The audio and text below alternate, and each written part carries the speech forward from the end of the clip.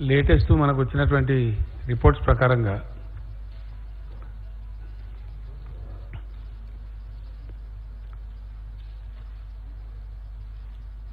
మొత్తం తెలంగాణలో ఇప్పటి వరకు ఈరోజు కూడా టెస్ట్ల తర్వాత కొత్తగా పద్దెనిమిది మందికి రావడం జరిగింది పాజిటివ్.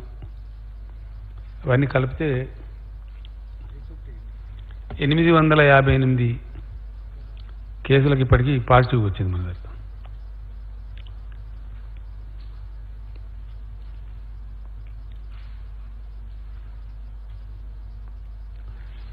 ఇందులో ఒక ఇరవై ఒక్క మరణాలు సంభవించినవి. నిన్నటి ఈరోజు కూడా కలుపుకుంటే ఈ అవుట్ ఆఫ్ ఎయిట్ ఫిఫ్టీ ఎయిట్లో ఒక వంద ఎనభై ఆరు మంది మన దగ్గర నుంచి కోలుకొని అన్ని పరీక్షల తర్వాత వాళ్ళు డిశ్చార్జ్ కావడం జరిగింది. ఇప్పుడు చికిత్సలో మన దగ్గర ఉన్న వాళ్ళు ఆరు వందల యాభై ఒక్క మంది ఉన్నారు. సీరియస్ లేవు లేవు కదా? సీరియస్ ఉందా? శాంతి లేదు అంటే మామూలుగానే కదా? లేదు కదా?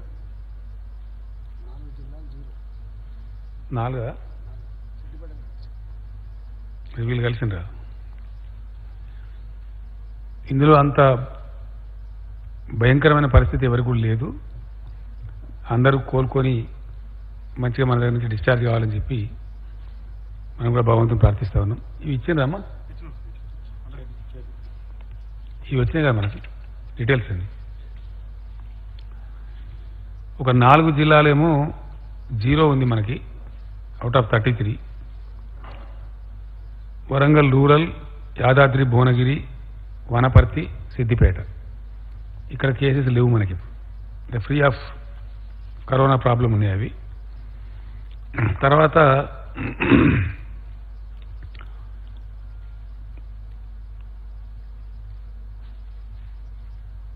కేసులు ఎన్ని రోజులకు డబుల్ అవుతున్నాయి అనేది ఒక పరిశీలన ఉంటుంది జనరల్గా. ప్రపంచవ్యాప్తంగా కూడా ఇప్పుడు చేస్తున్నది. దేశంలో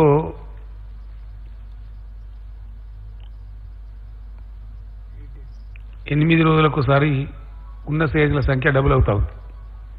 బట్ వేరే తెలంగాణలో కొంచెం కంట్రోల్ ఉంది బెటర్ కంట్రోల్ ఉంది. మోర్ దాన్ టెన్ డేస్ పడుతుంది మనకి డబుల్ కావడానికి పేషెంట్ల సంఖ్య. డెత్ రేటు జబ్బు సోకిన వాళ్ళలో మరణించే వారి సంఖ్య చూస్తే కంట్రీ స్థాయిలో three point two two percent ఉంది. తెలంగాణకు వచ్చేటప్పటికి two point four four percent ఉంది. డెత్ రేట్లో కూడా మనం కొంచెం తక్కువనే ఉన్నాం. మిలియన్ కేసులకు ఎంతమందిని పరీక్షిస్తున్నారు? ఒక మిలియన్ మందిలో అని కంపారిజన్ చేస్తే ఇండియా స్థాయిలోనేమో పర్ మిలియన్ రెండు వందల యాభై నాలుగు మందిని పరీక్షిస్తూ ఉన్నారు. మన దగ్గర త్రీ సెవెంటీ ఫైవ్ మెంబర్స్ మనం టెస్ట్ చేస్తూ ఉన్నాం. టెస్ట్లో కూడా మనం కంట్రీ యావరేజ్ కంటే చాలా ఎబో ఉన్నాం.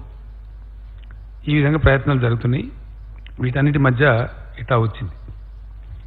దీని తదనంతరం లాస్ట్ పేజ్లో మీరు చూడొచ్చు మీ దగ్గర వివరాలని స్టార్టింగ్లో మనకు కొంచెం వైద్య సిబ్బందికి ఇతరత్ర అవసరమయ్యేటువంటి మెడికల్ ఎక్విప్మెంట్ తక్కువ ఉండేది మన దగ్గర. దేశానికి దేశంలో ఏ రాష్ట్రానికి కూడా ఇటువంటి జబ్బులు ఎదుర్కొనేటువంటి అలవాటు ఇంతకుముందు లేదు కాబట్టి ఇంత ఉత్పాతం లేదు కాబట్టి కొంచెం తక్కువ అలవాటు ఉండేది. దానివల్ల ఈ ఎక్విప్మెంట్ అందుబాటులో ఉండేది కాదు. ఫస్ట్ ప్రెస్ కాన్ఫరెన్స్లో ఈవెన్ ప్రైమ్ మినిస్టర్ గారు కూడా అదే చెప్పినారు. తర్వాత ఇక్కడికక్కడ రాష్ట్రాలు కేంద్రం మేల్కొని ప్రయత్నాలు ముమ్మరం చేసిన తర్వాత పూర్తి స్థాయిలో ఈ ఎక్విప్మెంట్ మనకు వచ్చిన్నది నేను లాస్ట్ టైం ప్రెస్ కాన్ఫరెన్స్లో చెప్పినట్టుగానే ఈ పీపీఈ కిట్స్ కానీ ఎన్ నైంటీ ఫైవ్ మాస్క్ కానీ ఇవి మనకు వస్తూ ఉన్నాయి కంటిన్యూస్గా వీటిని పది లక్షల సంఖ్య కూడా తీసుకుపోవడానికి ప్రయత్నాలు జరుగుతున్నాయి. హెల్త్ మినిస్టర్ గారు ఎవ్రీ డే పర్సనల్గా మానిటర్ చేస్తూ ఉన్నారు. షార్ట్లీ అంటే మనకు అవసరానికి చాలిన దానికంటే కొంచెం ఎక్కువ కూడా ఎటువంటి విపత్కర పరిస్థితి వచ్చినా ఎదుర్కోవడానికి సిద్ధంగా ఉండేటట్టు ఈ ఎక్విప్మెంట్ పూర్తి స్థాయిలో తీసుకుంటా ఉన్నారు. ప్రస్తుతం ఈ జబ్బును సాధ్యమైనంతలో కంట్రోల్ చేయడానికి వినియోగించబడుతున్న మందులు ఏవైతే ఉన్నాయో అవి కూడా ఇప్పుడు ప్లెంటీ ఉన్నాయి మన దగ్గర. మీకు నేను ఇచ్చిన లీఫ్లో వివరాలన్నీ ఉన్నాయి. ఏ ట్యాబ్లెట్స్ ఎన్ని ఉన్నాయని కూడా ఉంది. సో ఈ విషయం ఈ విధంగా మనం ముందు పోతా ఉన్నాం. ల్యాబొరేటరీస్ కానీ మన టెస్టింగ్ కెపాసిటీ కానీ అన్ని వివరాలు మీకు ఇచ్చిన పేపర్స్లో ఉన్నాయి. మీరు ఒకసారి చూస్తే మీకు ఐడియా వచ్చేస్తుంది. ఇది మాత్రమే చేస్తూ మిగతా సేవలు నిలిపివేయకుండా మన హెల్త్ డిపార్ట్మెంట్ వాళ్ళు నేను ఫస్ట్ డేనే వాళ్ళకి చెప్పడం జరిగింది సీరియస్గా. పర్టికులర్లీ ప్రసవానికి సిద్ధంగా ఉన్నటువంటి మహిళలు కష్టమవుతుంది కాబట్టి అన్ని లాక్డౌన్ చేస్తున్నాం కాబట్టి అమ్మఒడి వాహనాలు పెట్టడం వాళ్ళని సురక్షితంగా హాస్పిటల్ తేవటం డెలివరీ చేసి మళ్ళీ సురక్షితంగా పంపించడం ఇట్లాంటివన్నీ కూడా చాలా పకడ్బందీగా చర్యలు చేయమని చెప్పినాం. మిగతా ఈ తలసేమియా కానీ కిడ్నీ పేషెంట్ల యొక్క వాళ్ళకి అందించాల్సిన డయాలసిస్ సేవలు కానీ ఇవన్నీ కూడా చాలా పకడ్బందీగా చేయమని చెప్పినాం. ఎంతమందికి చేసింది అనేది మీ దగ్గర ఆ పేపర్లో వివరాలని కీమోథెరపీ కావచ్చు క్యాన్సర్ పేషెంట్లు కావచ్చు కిడ్నీ పేషెంట్లు కావచ్చు. వాళ్ళకు కూడా ఇబ్బంది కలగకుండా సేవలు అందిస్తూనే ఉన్నారు. ఆ విధంగా జరుగుతూ ఉంది. దీని తదనంతరం ప్రపంచవ్యాప్తంగా కూడా పరిస్థితి కొన్ని కొన్ని దేశాల్లో చెప్పబడుతున్నప్పటికీ మళ్ళీ అక్కడ రిపీట్ కూడా అవుతూ ఉంది. చాలా దేశాలు. మానేసుకున్న వాళ్ళు మళ్ళీ లాక్డౌన్ చేసినారు. ఉదాహరణకు సింగపూర్ లాంటి దేశం కూడా ఎత్తేసినారు మళ్ళీ లాక్డౌన్ చేసినారు పరిస్థితిని బట్టి. అట్లా ఇప్పుడు దాదాపు నలభై రెండు దేశాలు సంపూర్ణ లాక్డౌన్లో ఉన్నాయి ప్రజెంట్లీ అతి ఎక్కువ రోజులు ఉన్నటువంటి దేశాలు జాతీయ స్థాయిలో అంటే చైనా వుహాన్ వాటికి డెబ్బై ఏడు రోజులు Ireland sixty seven days France fifty five days Australia యాభై నాలుగు రోజులు మలేషియా నలభై ఆరు రోజులు నెదర్లాండ్స్ నలభై నాలుగు రోజులు లిథువేనియా నలభై మూడు రోజులు పెరు నలభై రెండు రోజులు. ఇట్లా చాలా దేశాలు ఆస్ట్రేలియా ఇట్లా ఉన్నాయి వివరాలన్నీ. మొత్తం మీద నలభై రెండు దేశాలు చాలా రోజులుగా ఉన్నవి. ఇట్లా ఉన్న పరిస్థితుల్లో మన దగ్గర కూడా లాక్డౌన్ కొనసాగుతున్నది దాన్ని మే థర్డ్ వరకు గవర్నమెంట్ ఆఫ్ ఇండియా ఆల్రెడీ ప్రకటించున్నారు. ఈ లాక్డౌన్ కొనసాగుతుందని చెప్పి. కానీ గవర్నమెంట్ ఆఫ్ ఇండియా చేసినటువంటి ఒక సవరణ ఏంటంటే రేపటి నుంచి ట్వంటీ ఎయిత్ తర్వాత కొన్ని విషయాల్లో సడలింపులు ఇస్తున్నామని చెప్పినారు.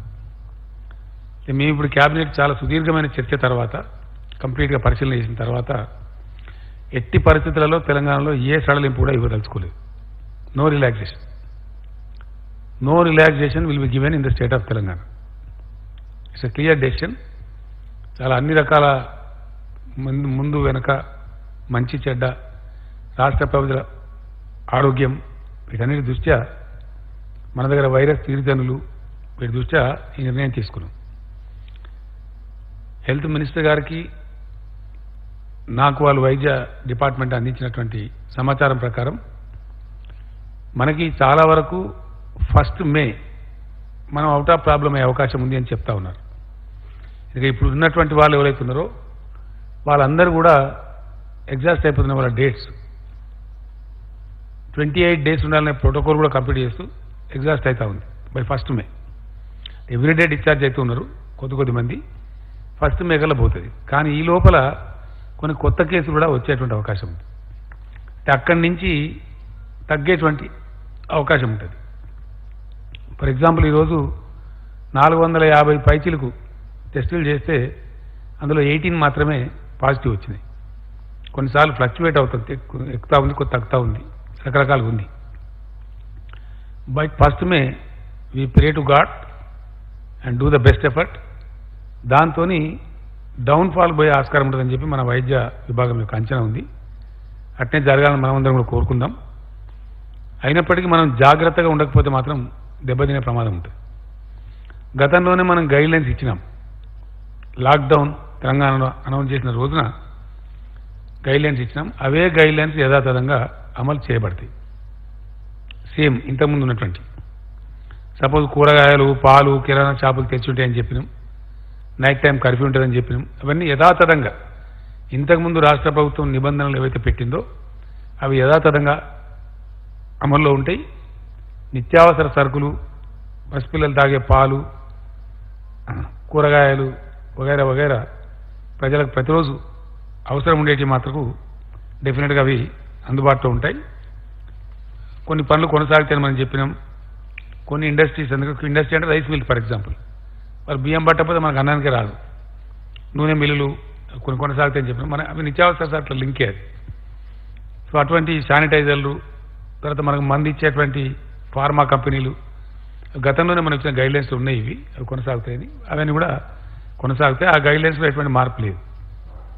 కానీ కేంద్రం చెప్పినటువంటి సడలింపు ఇంకా కేంద్రమే రాష్ట్రాలకు ఇచ్చినటువంటి గైడ్ లైన్స్లో ఒక మాట స్పష్టంగా చెప్పినారు. ఏ రాష్ట్రం కానీ దేశంలో ఏ యూనియన్ టెరిటరీ కానీ మేమిచ్చే మార్గదర్శకాల కంటే ఇంకా స్ట్రిక్టర్ మెజర్స్ అక్కడ స్థానిక పరిస్థితులను బట్టి తీసుకోదలిస్తే తీసుకోవచ్చును మాకు అభ్యంతరం లేదని చెప్పినారు. ఈ జీవో ఏదైతే ఎయిటీన్ నైంటీ సెవెన్ జీవో ఉందో ఎపిడమిక్ డిజాస్టర్ మేనేజ్మెంట్ జీవో ఉందో దాని కింద కేంద్ర ప్రభుత్వానికి ఉన్నటువంటి అధికారులే రాష్ట్ర ప్రభుత్వానికి కూడా ఉన్నాయి. ఆ పవర్ కూడా రాసింది స్పష్టంగా యాక్ట్లో. ఆ యాక్ట్ కిందనే మనం ఇప్పుడు ఈ ఆర్డర్స్ పాస్ చేస్తూ ఉన్నాం. టుడే క్యాబినెట్ కూడా తీసుకున్నది మన రాష్ట్రంలో మూడు భాగాలుగా ఇది ఉండేది. ఒకటి విదేశీ ప్రయాణికులు ఆ చాప్టర్ హండ్రెడ్ పర్సెంట్ సుఖాంతమైంది ఇప్పుడు. అందులో ఎవరు చనిపోలేదు. ఇనీషియల్లీ థర్టీ టూ ఉండే నంబరు. అది కొంచెం పెరిగి సిక్స్టీ ఫోర్ అయిన ఉండే కంప్లీట్ ప్రోటోకాల్ ప్రకారం హండ్రెడ్ పర్సెంట్ వాళ్ళంతా డిశ్చార్జ్ అయిపోయినారు. ఆ సమయంలో మన దగ్గర క్వారంటైన్లో ఉన్న ఇరవై ఆరు వేల మంది కూడా క్షేమంగా అంతా డిశ్చార్జ్ అయిపోయినారు. ఆ తర్వాత వచ్చినటువంటి నిజాముద్దీన్ ద్వారా వచ్చిన ప్రాబ్లమే మన కంటిన్యూ అవుతూ ఉంది. వాళ్ళు వాళ్ళ ఫ్యామిలీ మెంబర్సు వాళ్ళ సెకండరీ కాంటాక్టు వాళ్ళు తిన్న చోట కూర్చున్న చోట రకరకాలుగా వస్తూ ఉన్నాయి కేసులు. కాబట్టి దాన్ని మనం కంటిన్యూ పరిశోధన చేస్తూ ఉన్నాం. అది అది ఎక్కడ కట్ అయితే అక్కడ ఆల్మోస్ట్ మనకు సమస్య ఆగిపోయే పరిస్థితి ఉంటుంది. అదర్వైజ్ వేరే ఇంకే రకమైన కేసులన్నీ ఉన్నాయంటే ఒక థర్టీన్ ఫోర్టీన్ ఫ్రగైల్ కేసెస్ ఉన్నాయి. వాటిని సెర్చ్ చేస్తూ ఉన్నారు. వాళ్ళని తెచ్చి అడ్మిట్ చేసినారు. వాటిని ఆ నంబర్ పెద్దగా లేదు. అటువంటి సూచనలు కూడా మనకి ఇక్కడ పుటమరింపులు లేవు రాష్ట్రంలో. కాబట్టి ఈ ఈ దీనికి సంబంధించి మనకు బ్రేక్ కనుక దొరికితే చాలా వరకు మన రాష్ట్రం బాగుపడే అవకాశం ఉంటుంది. ఫర్దర్ కేసెస్ రాకుండా ఉండేదానికి కూడా ఆస్కారం ఉంటుంది. మనం అందరం కూడా భగవంతుని ప్రార్థిద్దాం. అటువంటి సమయం రావాలని చెప్పి. కానీ ఎందుకైనా మంచిదని మనం ఈ సడలింపులు ఇవ్వటం లేదు ఒకటి. మే థర్డ్ వరకు అంతకుముందు తెలంగాణ ప్రభుత్వం పెట్టినటువంటి ఏప్రిల్ ముప్పై గడువు ఉండనే ఉంది. దాని మీద భారత ప్రభుత్వం విధించినటువంటి గడువు మే మూడు వరకు ఉంది. కాబట్టి మే మూడు వరకు ఎలా ఉండి తీరుతుంది? నేను చాలా ఇంటెన్సివ్ సర్వే చేయించిన. మన క్యాబినెట్ మీటింగ్ కోసం ఏదైతే పిలిచినామో డెసిషన్ తీసుకోవాలి కాబట్టి జనంలోకి సర్వేలు పంపించాం ఆల్మోస్ట్ తొంభై నాలుగు తొంభై ఐదు శాతం మంది ఖచ్చితంగా ప్రజల అవసరం దృష్ట్యా ప్రజల ఆరోగ్యం దృష్ట్యా ప్రజల క్షేమం దృష్ట్యా కఠినంగానే ఉండాలి లాక్డౌన్ పొడిగించాలి అనే మాట సర్వేలో చాలా స్పష్టంగా వచ్చింది. అభిప్రాయ సేకరణ చేసినాం. దానిలో కూడా చాలా స్పష్టంగా వచ్చింది. కొన్ని టీవీ ఛానల్స్ వాళ్ళు కూడా చాలా విస్తృతమైనటువంటి చర్చ పెట్టినారు. వాళ్ళు ఎలక్ట్రానిక్ సర్వే చేసినారు టీవీ నుంచి కూడా అడిగినారు రకరకాలుగా ప్రయత్నాలు చేసినారు. అక్కడ కూడా నైంటీ టూ పర్సెంట్ ఆల్మోస్ట్ వాళ్ళకు కూడా ఉదాహరణకు ఎన్టీవీ వాళ్ళు ఒకటి చేసినారు టీ న్యూస్ వాళ్ళు ఒకటి చేసినారు. నేను అనుకోవటం బహుశా టీవీ నైన్ వాళ్ళు కూడా చేసినట్టుంది. ఎన్టీవీ చేసిన దానిలో నైంటీ టూ పర్సెంట్ వరకు ఆల్ కైండ్స్ ఆఫ్ సర్వీస్ కలిపి లాక్డౌన్ పొడిగించాలని వచ్చింది. ఎక్కడి నుంచి చూసినా ఏ తర్వాత నమస్తే తెలంగాణ పేపర్ వాళ్ళు కూడా చేసినారు. వాళ్ళది కూడా ఇంచుమించు వన్ టూ పర్సెంట్ అటు ఇటుగా ఇదే అభిప్రాయం ఇచ్చినట్టు. ఇతర పత్రికలలో వచ్చినటువంటి న్యూస్ కానీ ప్రజలు వెలువరించినటువంటి అభిప్రాయాలు కానీ ఇంచుమించుగా ఇదే ఉంది. నేను వ్యక్తిగతంగా కూడా అనేక మందితో మాట్లాడడం జరిగింది. కొంతమందికి అడిగి ఆ జిల్లాలో నలుగురు పేర్లు ఇవ్వమని చెప్పి ఆ నియోజకవర్గంలో నలుగురు పేర్లు ఇవ్వమని వాళ్ళని అడిగినాను క్రాస్ సెక్షన్ పీపుల్ నేను ప్రయంగా మాట్లాడిన దానిలో అడ్వకేట్స్ ఉన్నారు డాక్టర్స్ ఉన్నారు రైతులు ఉన్నారు కూలీలు ఉన్నారు అన్ని రకాల వాళ్ళు ఉన్నారు యంగ్స్టర్స్ కూడా ఉన్నారు. ముక్త కంఠంతో నాకైతే నేను అడిగిన ప్రతి వ్యక్తి సుమారు నేను ఒక డెబ్బై ఎనభై మందితో మాట్లాడినాను. పది పాత జిల్లాలలో ఒక్కొక్క జిల్లాలో ఏడు ఎనిమిది పది మందితో కూడా మాట్లాడినాం. ఆల్మోస్ట్ తెల్లారు కూడా కొంచెం మాట్లాడినాం వంద మంది దాకా మాట్లాడినాం. హండ్రెడ్ బై హండ్రెడ్ పర్సెంట్ చెప్పినారు. వాళ్ళు అడిగింది ఏంటంటే లాక్డౌన్ ఎత్తివేసినా సడలింపు చేసినా ఎందువల్ల చేస్తున్నట్టు? వ్యాధి తగ్గిందా? ఎందువల్ల చేస్తున్నట్టు? వాళ్ళు క్వశ్చన్ నన్ను నన్నే అడిగినారు. రెండవది చాలా స్పష్టంగా చెప్పినారు. ఎట్టి పరిస్థితులలో కొనసాగించాల్సిందే. అవసరమైతే మే నెలాఖరు దాకా కూడా కొనసాగించండి. ఇందులో కాంప్రమైజ్ కావద్దు అని కూడా చెప్పిన వాళ్ళు చాలామంది ఉన్నారు. మేము ఈ రాష్ట్ర కేబినెట్ ఈరోజు మంచి చెడ్డ అని చూసుకున్న తర్వాత నిర్ణయం తీసుకున్నది ఏంటంటే మే సెవెంత్ వరకు లాక్డౌన్ పొడిగిస్తా ఉన్నాం. థర్డ్ వరకు ఎట్లా ఉంది దానికి ఒక నాలుగు రోజులు కలిపి. Lockdown will be continued in the state of Telangana up to May seventh. Seventh నాడు రిలీజ్ కాదు ఎయిత్ నాడు రిలీజ్ అవుతుంది సెవెంత్ కూడా లాక్డౌన్లోనే ఉంటుంది.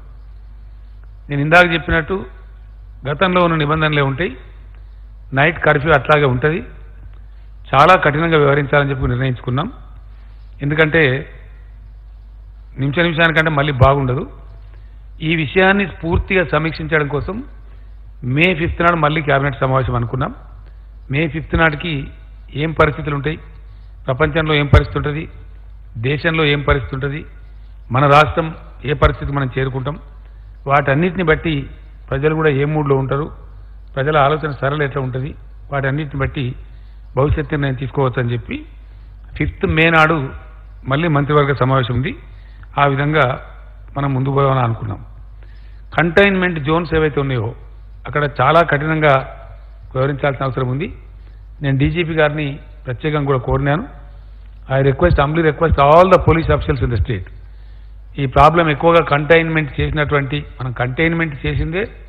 The very meaning of containment is నిలువరించడము అని అర్థం. వ్యాధిని ఆ పరిధి దాటకుండా అక్కడికక్కడనే ఆపివేయటం లేదా నిలువరించడం అనేది అర్థం. ఆ నిలువరించడంలో మనం విఫలం కావద్దు.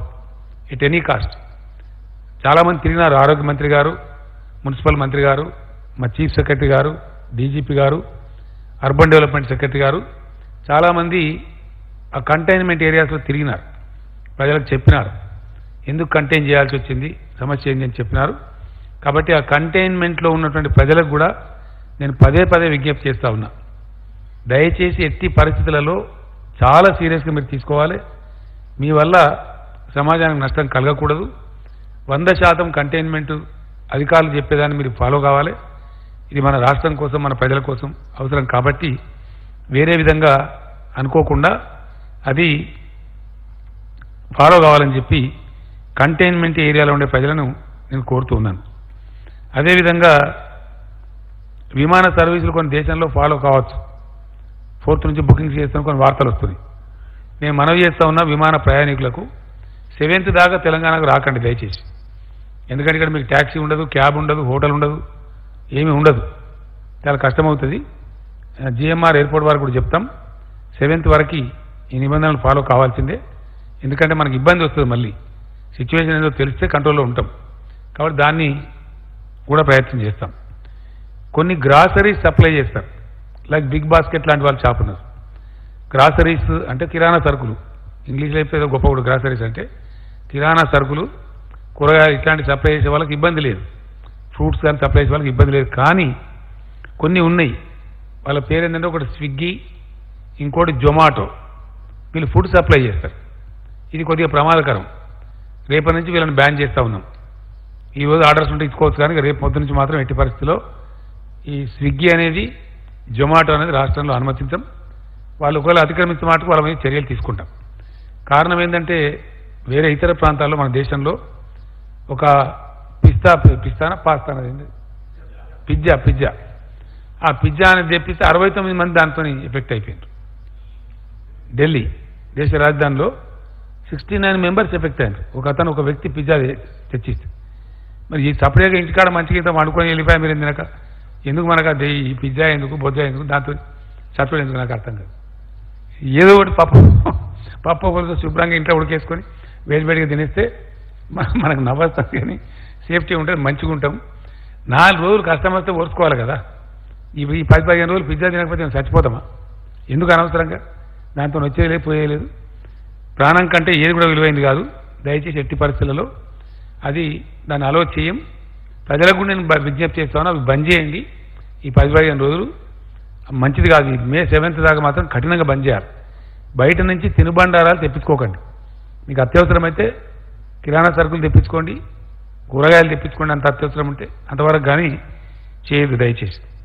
పండగలు ప్రార్థనలు ఎట్టి పరిస్థితుల్లో ఎవరైనా సరే ఇందలనే చేసుకోవాలి. అది రంజాన్ కానీ హిందువులు కానీ క్రైస్తవులు కానీ ఎవరైనా కానీ దయచేసి ఏ ఒక్క వర్గానికో ఏ ఒక్క మతానికో ఇది పరిమితం కాదు. Everybody has to follow the rule very strictly సామూహిక ప్రార్థనలు అనుమతించబడవు. అన్ని లాక్డౌన్ అయిపోయినాయి. నాకు చాలా సంతోషం. మొన్న ఓల్డ్ సిటీలో మన ఫేమస్ మస్జిద్ మక్కా మస్జిద్లో కూడా కేవలం ఇమాం సాబ్తో ఒక ఇద్దరు ముగ్గురు ఉండే ప్రార్థన చేసినారు. మన జుమ్మా మస్జిద్ కూడా. ఆ ట్రెండ్ చాలా మంచిది మనకి. కాబట్టి అంతలో కూడా అదే ఫాలో కావాలి. అన్ని ఆలయాలు మూసేసినారు. తిరుపతి దేవస్థానం మూసేసినారు. శ్రీశైలం మూసేసినాం. మన దగ్గర వేములవాడ మూసేసినాం. యాదాద్రి మూసేసినాం. భద్రాచలం మూసుకున్నాం. ఈవెన్ శ్రీరామ నవమి పట్టాభిషేకం కూడా జరుపుకోలేదు మనం. ఇవన్నీ కూడా కళ్యాణం స్వామివారి కళ్యాణం లిమిటెడ్గా చేసుకున్నాం. కాబట్టి ఎవరమైనా మినహాయింపు లేకుండా దయచేసి ఎనీ రిలీజియస్ కాంగ్రిగేషన్ ఇది నాట్ అలౌడ్. ఏ ఏ మతం యొక్క సామూహిక కార్యక్రమాలు అనుమతించబడవు ఆ విషయంలో చాలా స్ట్రిక్ట్గా ఉంటారు. హండ్రెడ్ పర్సెంట్ దాన్ని అందరు కూడా ఫాలో కావాల్సిందే. కాబట్టి ఆ రకంగా ముందుకు పోవాల్సినటువంటి అవసరం ఉంటుంది మనం. భవిష్యత్తు దృష్ట్యా ప్రజల యొక్క ఇంట్రెస్ట్ దృష్ట్యా ఈ చర్యలు తీసుకోక తప్పదు. కాబట్టి దాన్ని అన్నిదా భావించద్దు. ఆ విధంగానే అందరు దయచేసి సహకారం చేయాలి. ఇప్పటిదాకా మంచి సహకారం అందిస్తూ ఉన్నారు ప్రజలు. చాలా సంతోషం. ప్రజాప్రతినిధులు కూడా అందరు పాల్గొంటూ ఉన్నారు. విశేషించి గ్రౌండ్లో ఉండే ప్రజాప్రతినిధులు చాలా బాగా పనిచేస్తూ ఉన్నారు. వ్యవసాయ కొనుగోళ్ళకు సంబంధించి కూడా మంచి కోఆర్డినేషన్ జరుగుతూ ఉంది. వ్యవసాయ మంత్రి గారు కూడా నిరంజన్ రెడ్డి గారు కొన్ని జిల్లాలు పర్యటన చేశారు. టైం బాగాలేకున్నా కొన్ని చోట్ల వారు కూడా స్వయంగా కొనుగోలు కేంద్రాలు ప్రారంభించారు. ఎవరితో పాటు అన్ని జిల్లాల మినిస్టర్స్ ఈ కొనుగోలును పర్యవేక్షిస్తూ ఉన్నారు. చాలా ఎఫెక్టివ్గా జరుగుతూ ఉంది బాగా జరుగుతూ ఉంది. చాలా సంతోషం. అయితే అట్లే అదేవిధంగా జరగాలి. శానిటైజేషన్ పారిశుద్ధ్యం చాలా బాగా నిర్వహిస్తూ ఉన్నారు. ఆ క్లోరిన్ ద్రావకాన్ని కూడా పిచికారీ చేయించడంలో మన సర్పంచులు మన గ్రామ పంచాయతీ సిబ్బంది మన మున్సిపాలిటీలు మున్సిపల్ సిబ్బంది అధికారులు అద్భుతంగా పనిచేస్తూ ఉన్నారు. In way I'm very happy చాలా చాలా ఆశించిన రీతిలో పనిచేస్తూ ఉన్నారు. సర్పంచులు స్థానిక సంస్థల ప్రతినిధులు municipal corporators councillors chairmans mayors అందరూ కూడా శక్తివంచన లేకుండా పనిచేస్తూ ఉన్నారు.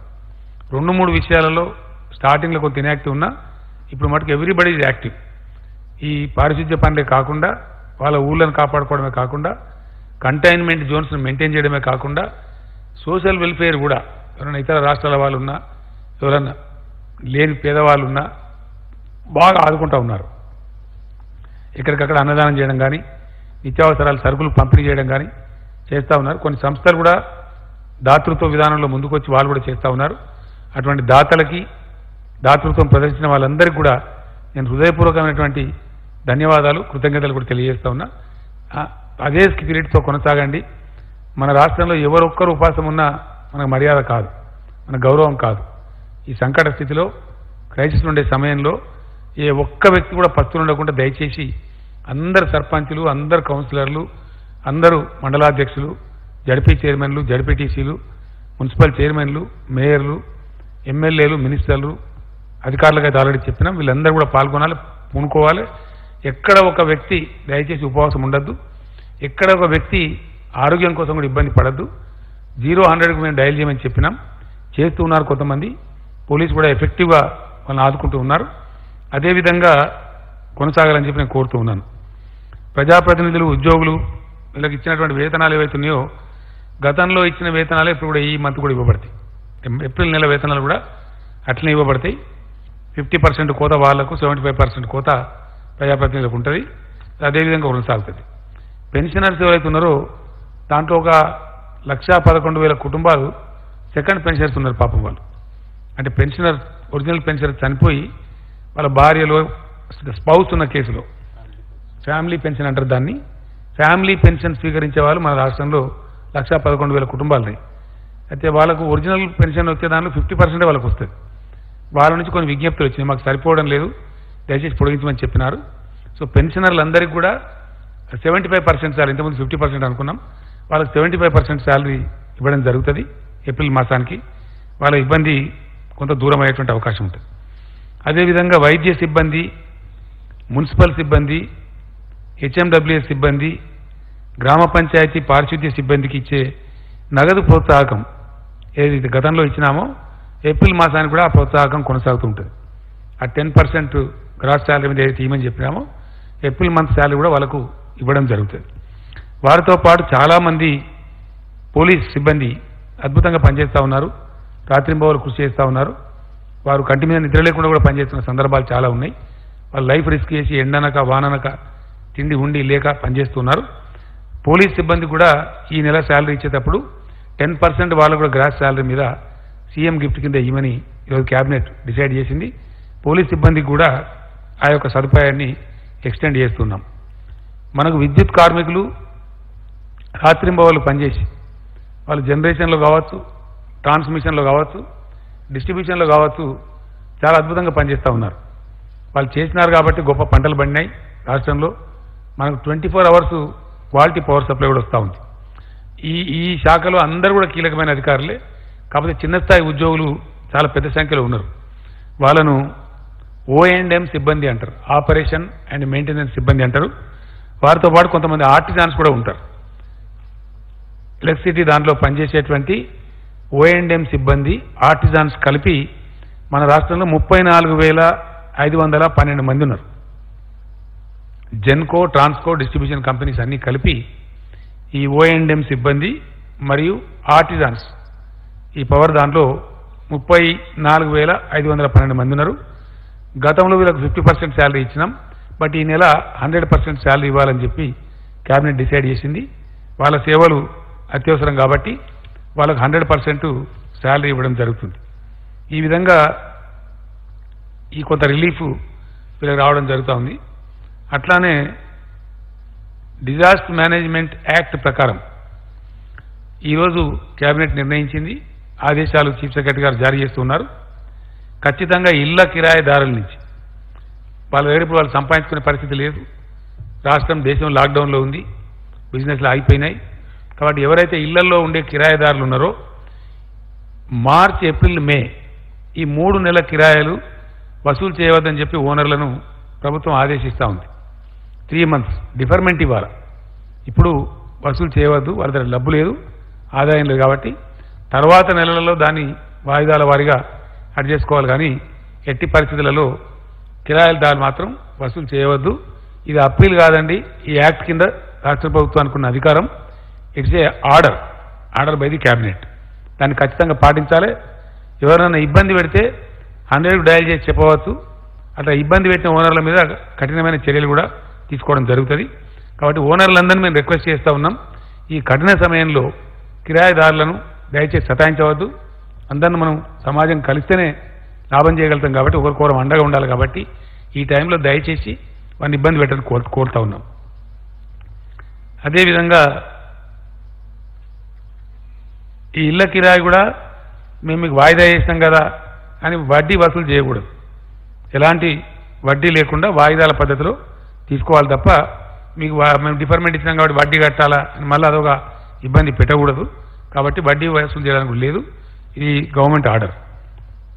అదేవిధంగా ప్రాపర్టీ ట్యాక్స్ చెల్లిస్తూ ఉంటారు. జిహెచ్ఎంసీ కావచ్చు మున్సిపాలిటీస్ కావచ్చు ఇక్కడ కావచ్చు. రెండు వందల పంతొమ్మిది రెండు వేల పంతొమ్మిది ఇరవై సంవత్సరానికి సంబంధించి జనరల్గా ఈ ఇది ఎట్లా ఉంటుందంటే వన్ మంత్ లేటర్ కడతా ఉంటారు. మార్చి ట్యాక్స్ అంతా ఇప్పుడు కడతా ఉంటారు జనరల్గా. వాళ్ళు కట్టడంలో కొంత విఫలమైనారు. వాళ్ళకు ఒక రిలాక్సేషన్ ఇచ్చింది ఇలా క్యాబినెట్. ఎటువంటి అపరాధ రుసుము లేకుండా. ఏప్రిల్ లోపల కట్టకపోతే అపరాధ రుసుము వేస్తారు. అపరాధ రుసుము లేకుండా థర్టీ ఫస్ట్ మీదాకా వాళ్ళకు ఛాన్స్ ఇవ్వడం జరిగింది. వాళ్ళు చెల్లించుకునే వాళ్ళు దానిలో ఎటువంటి పెనాల్టీ లేకుండా చెల్లించుకునే అవకాశం ఉంటుంది. అదేవిధంగా ఈ ప్రైవేట్ స్కూల్స్ ఈ పదివేల పైతీలకు పాఠశాలల్ని ఇక్కడ ముప్పై లక్షల పైతీలకు విద్యార్థులున్నారు. వీళ్ళు స్పష్టమైన ఆదేశం ఇస్తా ఉంది రాష్ట్ర ప్రభుత్వం. ఎట్టి పరిస్థితులు దాన్ని ఉల్లంఘించడానికి లేదు. వీళ్ళు ఎట్టి పరిస్థితిలో ఇరవై ఇరవై ఒక సంవత్సరానికి ఒక్క పైసా కూడా ఫీజులు పెంచే అవకాశం లేదు. పెంచకూడదు. It's an order by the government ఇది ప్రభుత్వ ఆదేశం. ప్రైవేటు విద్యా సంస్థలు ఇంత పెంచండి అంత పెంచండి అని కొంత నోటీసులు ఇస్తూ ఉన్నారు. That is not allowed in the state ఎట్టి పరిస్థితిలో ట్వంటీ ట్వంటీ వన్ అకాడమిక్ ఇయర్కి ఒక్క రూపాయి కూడా ఒక పైసా కూడా ఫీజులు పెంచేటువంటి అవకాశం లేదు పెంచకూడదు. రెండు రకరకాల ఫీజులు వీళ్ళు వసూలు చేస్తూ ఉంటారు. ఎట్టి పరిస్థితుల్లో వసూలు చేయకూడదు. మంత్లీ నెలవారీగా కేవలం ట్యూషన్ ఫీజు మాత్రమే వసూలు చేసుకోవాలి. అదర్ దాన్ ట్యూషన్ ఫీజు ఒక రూపాయి కూడా వసూలు చేయడానికి వీలు లేదు. ఇది ప్రభుత్వ ఆదేశం ఖచ్చితంగా ఫాలో కావాలి. తర్వాత రోజుల్లో దాన్ని చూసుకోవచ్చు పరిస్థితి చక్కబడిన తర్వాత. ఇప్పుడు మటుకు ఓన్లీ ట్యూషన్ ఫీజు మాత్రమే అది నెలవారీగా సంవత్సరానికి అంత ఒకటేసారి కట్టండి అని కూడా జబర్దస్తి చేయడం లేదు. Only monthly wise month wise tuition fee మాత్రమే తీసుకోవాలా? అంతకు మించి విద్యార్థులను కానీ విద్యార్థుల తల్లిదండ్రులను కానీ ఇబ్బంది పెట్టకూడదు. ఈ కష్ట సమయంలో పెట్టినట్టయితే ఎవరిని కష్టపెట్టినా హండ్రెడ్కు డయల్ చేయండి. వెంటనే యాక్షన్ ఉంటుంది. చాలా యాక్టివ్గా చర్యలు కూడా తీసుకుంటాం. వాళ్ళ యొక్క పర్మిట్లు కూడా రద్దు చేస్తాం. ఎట్టి పరిస్థితులు నిర్దాక్షిణ్యం కూడా ఈ విషయంలో. ఇది ప్రజలకు సంబంధించి ముఖ్యంగా పేదలకు సంబంధించింది. ప్రజలు ఇప్పుడు తమ ఆదాయాన్ని కోల్పోయి ఉన్నారు. ఆదాయం లేదు. మరీ దారుణంగా ఉండేది పరిస్థితి మొదటికి. మార్చిలోనన్న సగం వచ్చింది కానీ ఏప్రిల్లో అయితే జీరో అయిపోయింది. అది ఏం పని లేదు ఎక్కడ. ఎవరి ఇళ్ళలో వాళ్ళు ఉండిపోవాల్సిన పరిస్థితి వచ్చింది. నాలుగు శాఖలు తినేవాళ్ళు రెండు శాఖలు తిని పప్పోలు పుట్టుతో తిని బతుకుతున్నటువంటి పరిస్థితి. ప్రజలు కష్టంలో ఉన్నప్పుడు వాళ్ళని ఫర్దర్ కష్టపెట్టడం సమాజానికి ఎవరికి కూడా ధర్మం కాదు. కాబట్టి ఈ విషయంలో దయచేసి ఎట్టి పరిస్థితులలో దీన్ని వే వేరే విధంగా అనుకోవద్దు. ట్యూషన్ ఫీజులను అది కూడా నెలవారీ మాత్రమే తీసుకోవాలా? సంవత్సరం మొత్తం కట్టాలని అనద్దు. ఆ జబర్దస్తి చేయకూడదు. చేస్తే మటుకు చర్యలు తప్పవు. కాబట్టి ఇతరత్ర ఏ రకమైన ఫీజులు కూడా వసూలు చేయవద్దు. ఇది గవర్నమెంట్ ఆర్డర్. కాబట్టి దానికి ఖచ్చితంగా పాటించాలని చెప్పి కోరుతా ఉన్నాం. అదేవిధంగా ఏప్రిల్ మాసంలో చాలా దారుణంగా ఆదాయాలు లేవు కాబట్టి అసలు పనే లేకుండా పోయింది కాబట్టి ఎవరింటికాన్ని వారిని ఉండమని ప్రభుత్వమే చెప్పింది కాబట్టి పేదలు కూడా ఇబ్బందులలో ఉంటారు. కాబట్టి తెల్ల రేషన్ కార్డున్న ఈ eighty seven and half lakh ration cards ఏవైతున్నాయో వాళ్ళకు మే మాసానికి కూడా ఈ- ఈ నెలకి ఇచ్చినట్టు ఏప్రిల్ నెలకి ఇచ్చినట్టే ప్రతి వ్యక్తికి పన్నెండు కిలోల బియ్యం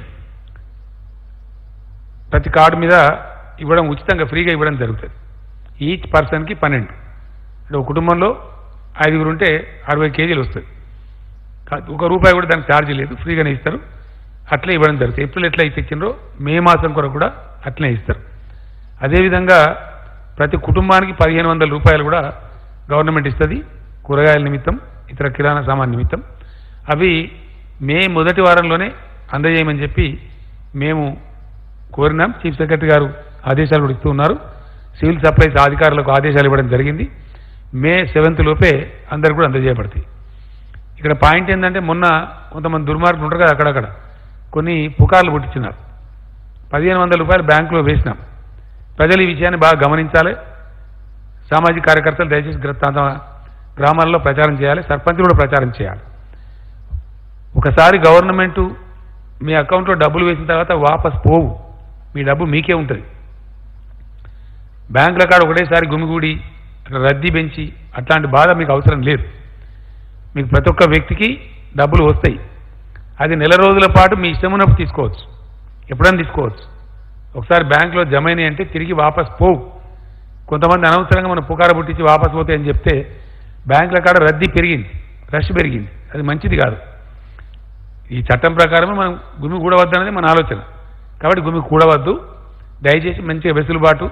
ఓ ఉదయం తీసుకోండి కొందరు మధ్యాహ్నం తీసుకోండి కొందరు రేపు తీసుకోండి కొందరు ఎల్లుండి తీసుకోండి. ఎప్పుడైనా సరే తీసుకోవచ్చు. మీ డబ్బు మీకు అక్కడ సేఫ్గా ఉంటుంది. అది వాపసు పోయే ప్రశ్నే లేదు. అది ఎట్టి పరిస్థితులలో మీ డబ్బులు మీరు సేఫ్గా తీసుకోవచ్చు. కాబట్టి దానికి ఆత్రపడి బ్యాంకుల దగ్గర రష్ పెంచద్దు. అది మనకే మంచిది కాదు. పేదలకు మన రాష్ట్రంలో సుమారుగా ఇచ్చే నలభై లక్షల మంది పేదలకు ఇచ్చే ఆసరా పెన్షన్స్ ఏవైతే ఉన్నాయో అవి యథావిధంగా వాళ్ళకి రెండు వేల పదహారు రూపాయలు ఇవ్వబడతాయి అందులో ఏం కోత లేదు. మే మాసానికి కూడా పూర్తి ఆసరా పెన్షన్లు వాళ్ళకు అందజేయడం జరుగుతుంది. ఎవరైతే ఇతర రాష్ట్రాల కూలీలు మైగ్రాంట్ లేబర్ అంటే వలస కూలీలు ఉన్నారో మన రాష్ట్రంలో ఉన్నవాళ్ళు వాళ్ళకు మొన్న ఏ పద్ధతి అయితే ఇచ్చినామో ఒకవేళ కూలి ఒక్కడే ఉంటే ఇండివిజువలే ఉంటే ఆయనకు పన్నెండు కేజీల రైస్ ఇస్తారు ఐదు వందల రూపాయలు ఇస్తారు. ఒకవేళ వలస కూలిది ఫ్యామిలీ ఉంటే సేమ్ మన ఫ్యామిలీకి ఇచ్చినట్టే వాళ్ళకు కూడా ఫిఫ్టీన్ హండ్రెడ్ రూపీస్ ఇస్తారు. ఎంతమంది అంతమందికి పన్నెండు కిలోల కాడికి రైస్ ఇస్తారు. వాళ్ళు ఇద్దరు ఉండని ముగ్గురు ఉండని ఎందరు ఉన్నా ఈ ట్వెల్వ్ కేజీ రైస్ ఇస్తారు. ఫ్యామిలీ కాబట్టి వాళ్ళకు కూడా ఫిఫ్టీన్ హండ్రెడ్ రూపీస్ కూడా ఇస్తారు. ఆ విధంగా వాళ్ళు దాన్ని ఉపయోగించుకోవాలి. వాళ్ళు బెంబేలు ఎత్తాల్సిన అవసరం లేదు. ఆ రకంగా వాళ్ళకు కూడా రాయితీలు ఉంటాయి. కొంత పరిశ్రమల వాళ్ళు కూడా మాకు కూడా ఇబ్బంది ఉంది మా ప్రొడక్షన్ లేదు వాటిని మేము విద్యుత్ ఛార్జీలు చెల్లించే పరిస్థితి లేదు. మీరే బంద్ చేయమని లాక్డౌన్ పెట్టిండ్రు. జీతాలు కూడా కార్మికులకు ఇవ్వమన్నారు కాబట్టి చేయలేమని చెప్పి వాళ్ళు కొన్ని రిక్వెస్ట్లు పెట్టినారు. దాన్ని కూడా క్యాబినెట్ డిస్కస్ చేసింది ఈరోజు కొన్ని కన్సిడర్ చేసింది. ఈ లాక్డౌన్ పీరియడ్లో వాళ్ళు చెల్లించాల్సినటువంటి ఫిక్స్డ్ ఛార్జెస్ అని ఉంటాయి వాళ్ళకి. దానికి డిఫర్మెంట్ ఇస్తూ ఉన్నారు. April May మాసాలకి. ఏప్రిల్ మే మాసం యొక్క ఫిక్స్డ్ ఛార్జెస్ పరిశ్రమల వాళ్ళకి రద్దు చేయబడతా ఉన్నాయి. ఫిక్స్డ్ ఛార్జ్ అంటే ఏంటంటే కరెంటు వాడినా వాడకపోయినా కట్టే బిల్లులు. అవి వసూలు చేయబడతాయి. ఇవాళ వాడలేదు కాబట్టి కరెంటు ఛార్జ్ వచ్చే ఆస్కారం లేదు. కాబట్టి they are not an problem.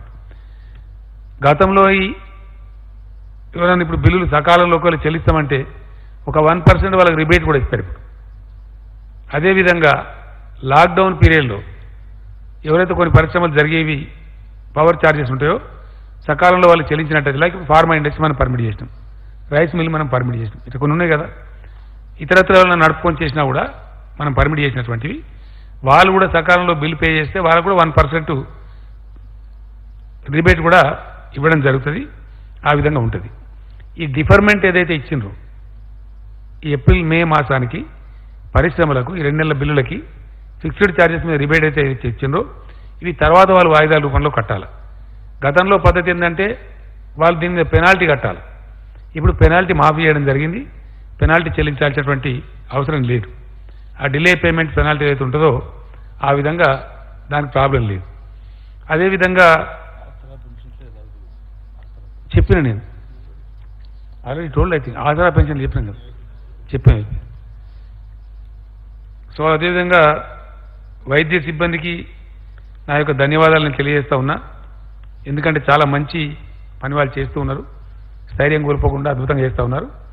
మీకు ఇచ్చిన దానిలో వివరాలని ఇప్పుడు వాళ్ళకు సిబ్బందికి ఎటువంటి ఇబ్బంది లేకుండా అన్ని ఎక్విప్మెంట్స్ కానీ మెడిసిన్స్ కానీ మంచి చెడ్డ అన్నీ కూడా ఉన్నాయి.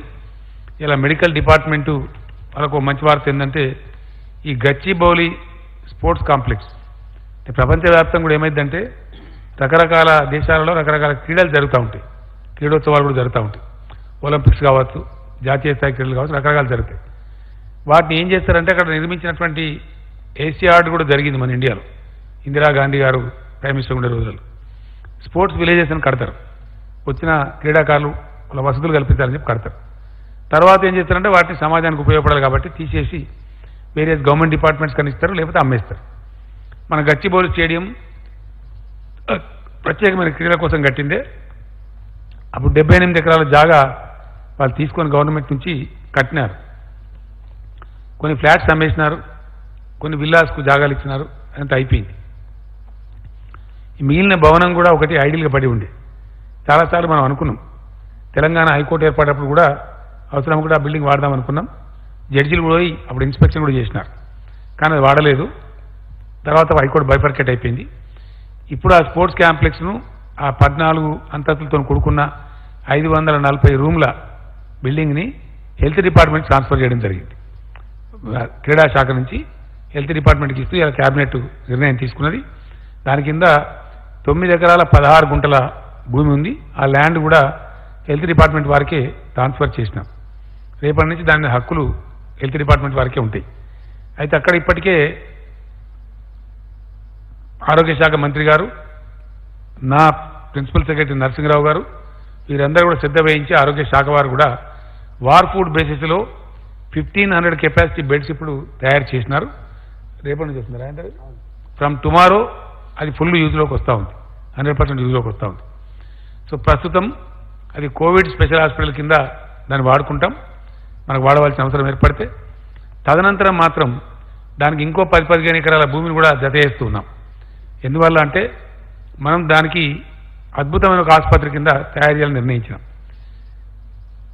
ఎంచేపు గాంధీ నీలోఫరు ఉస్మానియా కాకుండా నగరానికి నాలుగు చోట్ల నాలుగు కడదామనుకున్నాం మనకు తూర్పు దిశలో ఎయిమ్స్ వచ్చింది All India Institute of Medical Sciences Bhiminagar దగ్గర. పశ్చిమ దిశలో ఇప్పుడు ఇది వస్తూ ఉంది. దీని పేరు టిమ్స్ అని పెట్టినాం. Telangana Institute of Medical Sciences and Research. మీరు రాసుకోవాలి దయచేసి. Telangana Institute of Medical Sciences and Research. దీంతో పాటు పోస్ట్ గ్రాడ్యుయేట్ కాలేజ్ కూడా ఉంటుంది మెడికల్ కాలేజ్.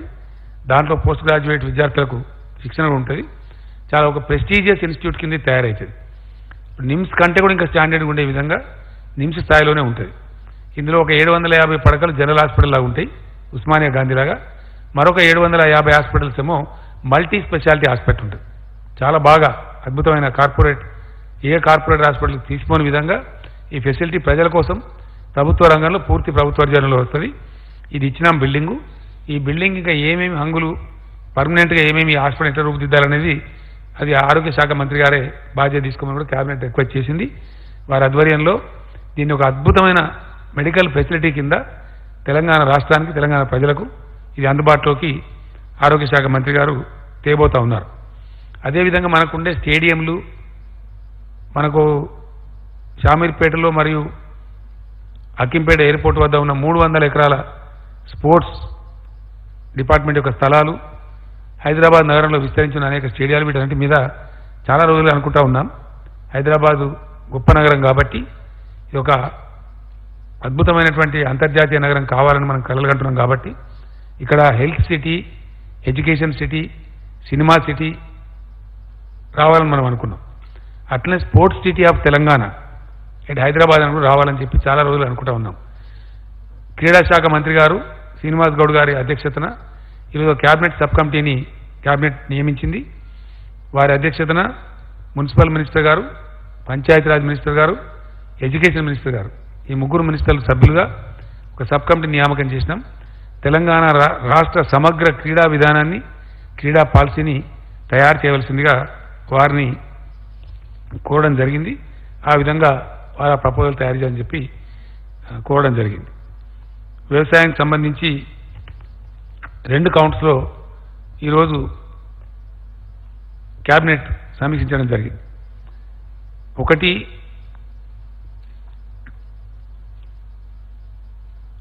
నాకు తెలిసి భారతదేశ చరిత్రలో ఎప్పుడు ఎక్కడ జరగని విధంగా ఈవెన్ ఇప్పుడు కూడా ఏ రాష్ట్రంలో జరగని విధంగా ఒక తెలంగాణ రాష్ట్రంలో మాత్రమే రైతులు పండించిన పంటలన్నీ ప్రభుత్వం కొంటా ఉంది. ఇది first time in the Indian history ఈ కోవిడ్ సందర్భంలో కరోనా వ్యాధి సందర్భంలో కూడా ఏ రాష్ట్రం కూడా కొంటలేదు ఇండియాలో. తెలంగాణ రైతాంగం మీద మాకున్న ప్రత్యేక శ్రద్ధ ప్రేమ కనబరచాలి వాళ్ళు బాగు తీసుకురావాలి ఖచ్చితంగా బాగు చేయాలి. ఎందుకంటే ఇక్కడ ఒక మాట నేను చెప్పాలి ఖచ్చితంగా చెప్పాలి. ఒక చిన్న విషయం నేను మొన్న చెప్పిన తర్వాత నాకు చాలామంది ఫ్రెండ్స్ కూడా మాట్లాడినారు. కొన్ని ఆశ్చర్యకరమైన విషయాలు ఉంటాయి. ఈరోజు ఈరోజు నిన్న ఒక రిపోర్ట్ వచ్చింది ఒక ఇంటర్నేషనల్ జర్నల్లో ప్రపంచం మొత్తం అతలాకుతలమైన ఈ సందర్భంలో రేపు రాబోయే రోజులలో భోజనానికి కూడా ఇబ్బందులు వస్తాయి. వరల్డ్ రేషన్ పాటించాల్సిన అవసరం ఏర్పడదని చెప్పారు. World ration. రెగ్యులేట్ చేసుకోవాల్సి వస్తుంది. చాలా దారుణమైన పరిస్థితులు ఏర్పడే ప్రమాదం ఉందని కూడా నిపుణులు తమ నివేదికలు ఇస్తూ ఉన్నారు. అంటే వ్యవసాయానికి ఎంత ఇంపార్టెన్స్ ఉందో దాన్ని బట్టి మనకు అర్థమవుతా ఉంది. మనది ప్రధానంగా వ్యవసాయక దేశం. రైతాంగాన్ని వ్యవసాయాన్ని బాగా నిర్లక్ష్యం చేయబడతా ఉంది దేశంలో. కానీ తెలంగాణ ప్రభుత్వం చాలా కమిట్మెంట్తోని అనేక స్కీములు తెచ్చి రైతు బంధు రైతు బీమా ట్వంటీ ఫోర్ అవర్స్ ఉచిత విద్యుత్తు సత్వర ప్రాజెక్టు నిర్మాణం ఆర్ఆర్ నెల్లు పంటల ప్రాజెక్టు ద్వారా నీటి సరఫరా ఇవన్నీ చేసి చూపించినాం. ప్రాక్టికల్గా జరిగినాయి. శ్రీరామ్ సాగర్ ప్రాజెక్టు చరిత్రలో ఎప్పుడు కూడా కాకతీయ కాలువ ఆరు మాసాల పాటు నిరంతరంగా నీళ్ళు ఇవ్వలే. ఈసారి ఫస్ట్ టైం ఇచ్చినాం. ఏప్రిల్ ఫిఫ్టీన్త్ వరకు అనుకొని ఏప్రిల్ ఫిఫ్టీన్త్ వరకు కూడా విజయవంతంగా ఇచ్చినాం. అదంతా ప్రజల ముందు ఉంది రైతుల ముందు ఉంది. ఈరోజు ఒక వరి ధాన్యమే కాకుండా మక్కలు మక్కలతో పాటు కందులు శనగలు సన్ఫ్లవరు జువార్ అంటారు తెల్ల జొన్నలు లేదా పచ్చ జొన్నలు. జొన్నలు కూడా కొనుగోలు చేయాలి రైతుల దగ్గర నుంచి అని క్యాబినెట్ ఈరోజు నిర్ణయించింది. కాబట్టి జొన్నలు అమ్ముకునే వాళ్ళు కానీ సన్ఫ్లవర్ అమ్ముకునే వాళ్ళు కానీ శనగలు అమ్ముకునే వాళ్ళు కానీ ఆగమాగమయ్యే అవసరం లేదు. ప్రభుత్వమే ప్రతి గింజ కొంటది. మీరు మీ దగ్గర మీ జిల్లా మినిస్టర్స్ని లేదా మీ జిల్లా రైతు బంధు కమిటీలను సంప్రదించండి. అన్నీ కూడా ప్రభుత్వం కొనుగోలు చేస్తుంది. మీరు తక్కువ ధరకు అమ్ముకొని నష్టపోవద్దు. ఈరోజు ఒకరిద్దరు మినిస్టర్లు మన సబితా ఇంద్రారెడ్డి గారు కూడా క్యాబినెట్ దృష్టికి తెచ్చినారు.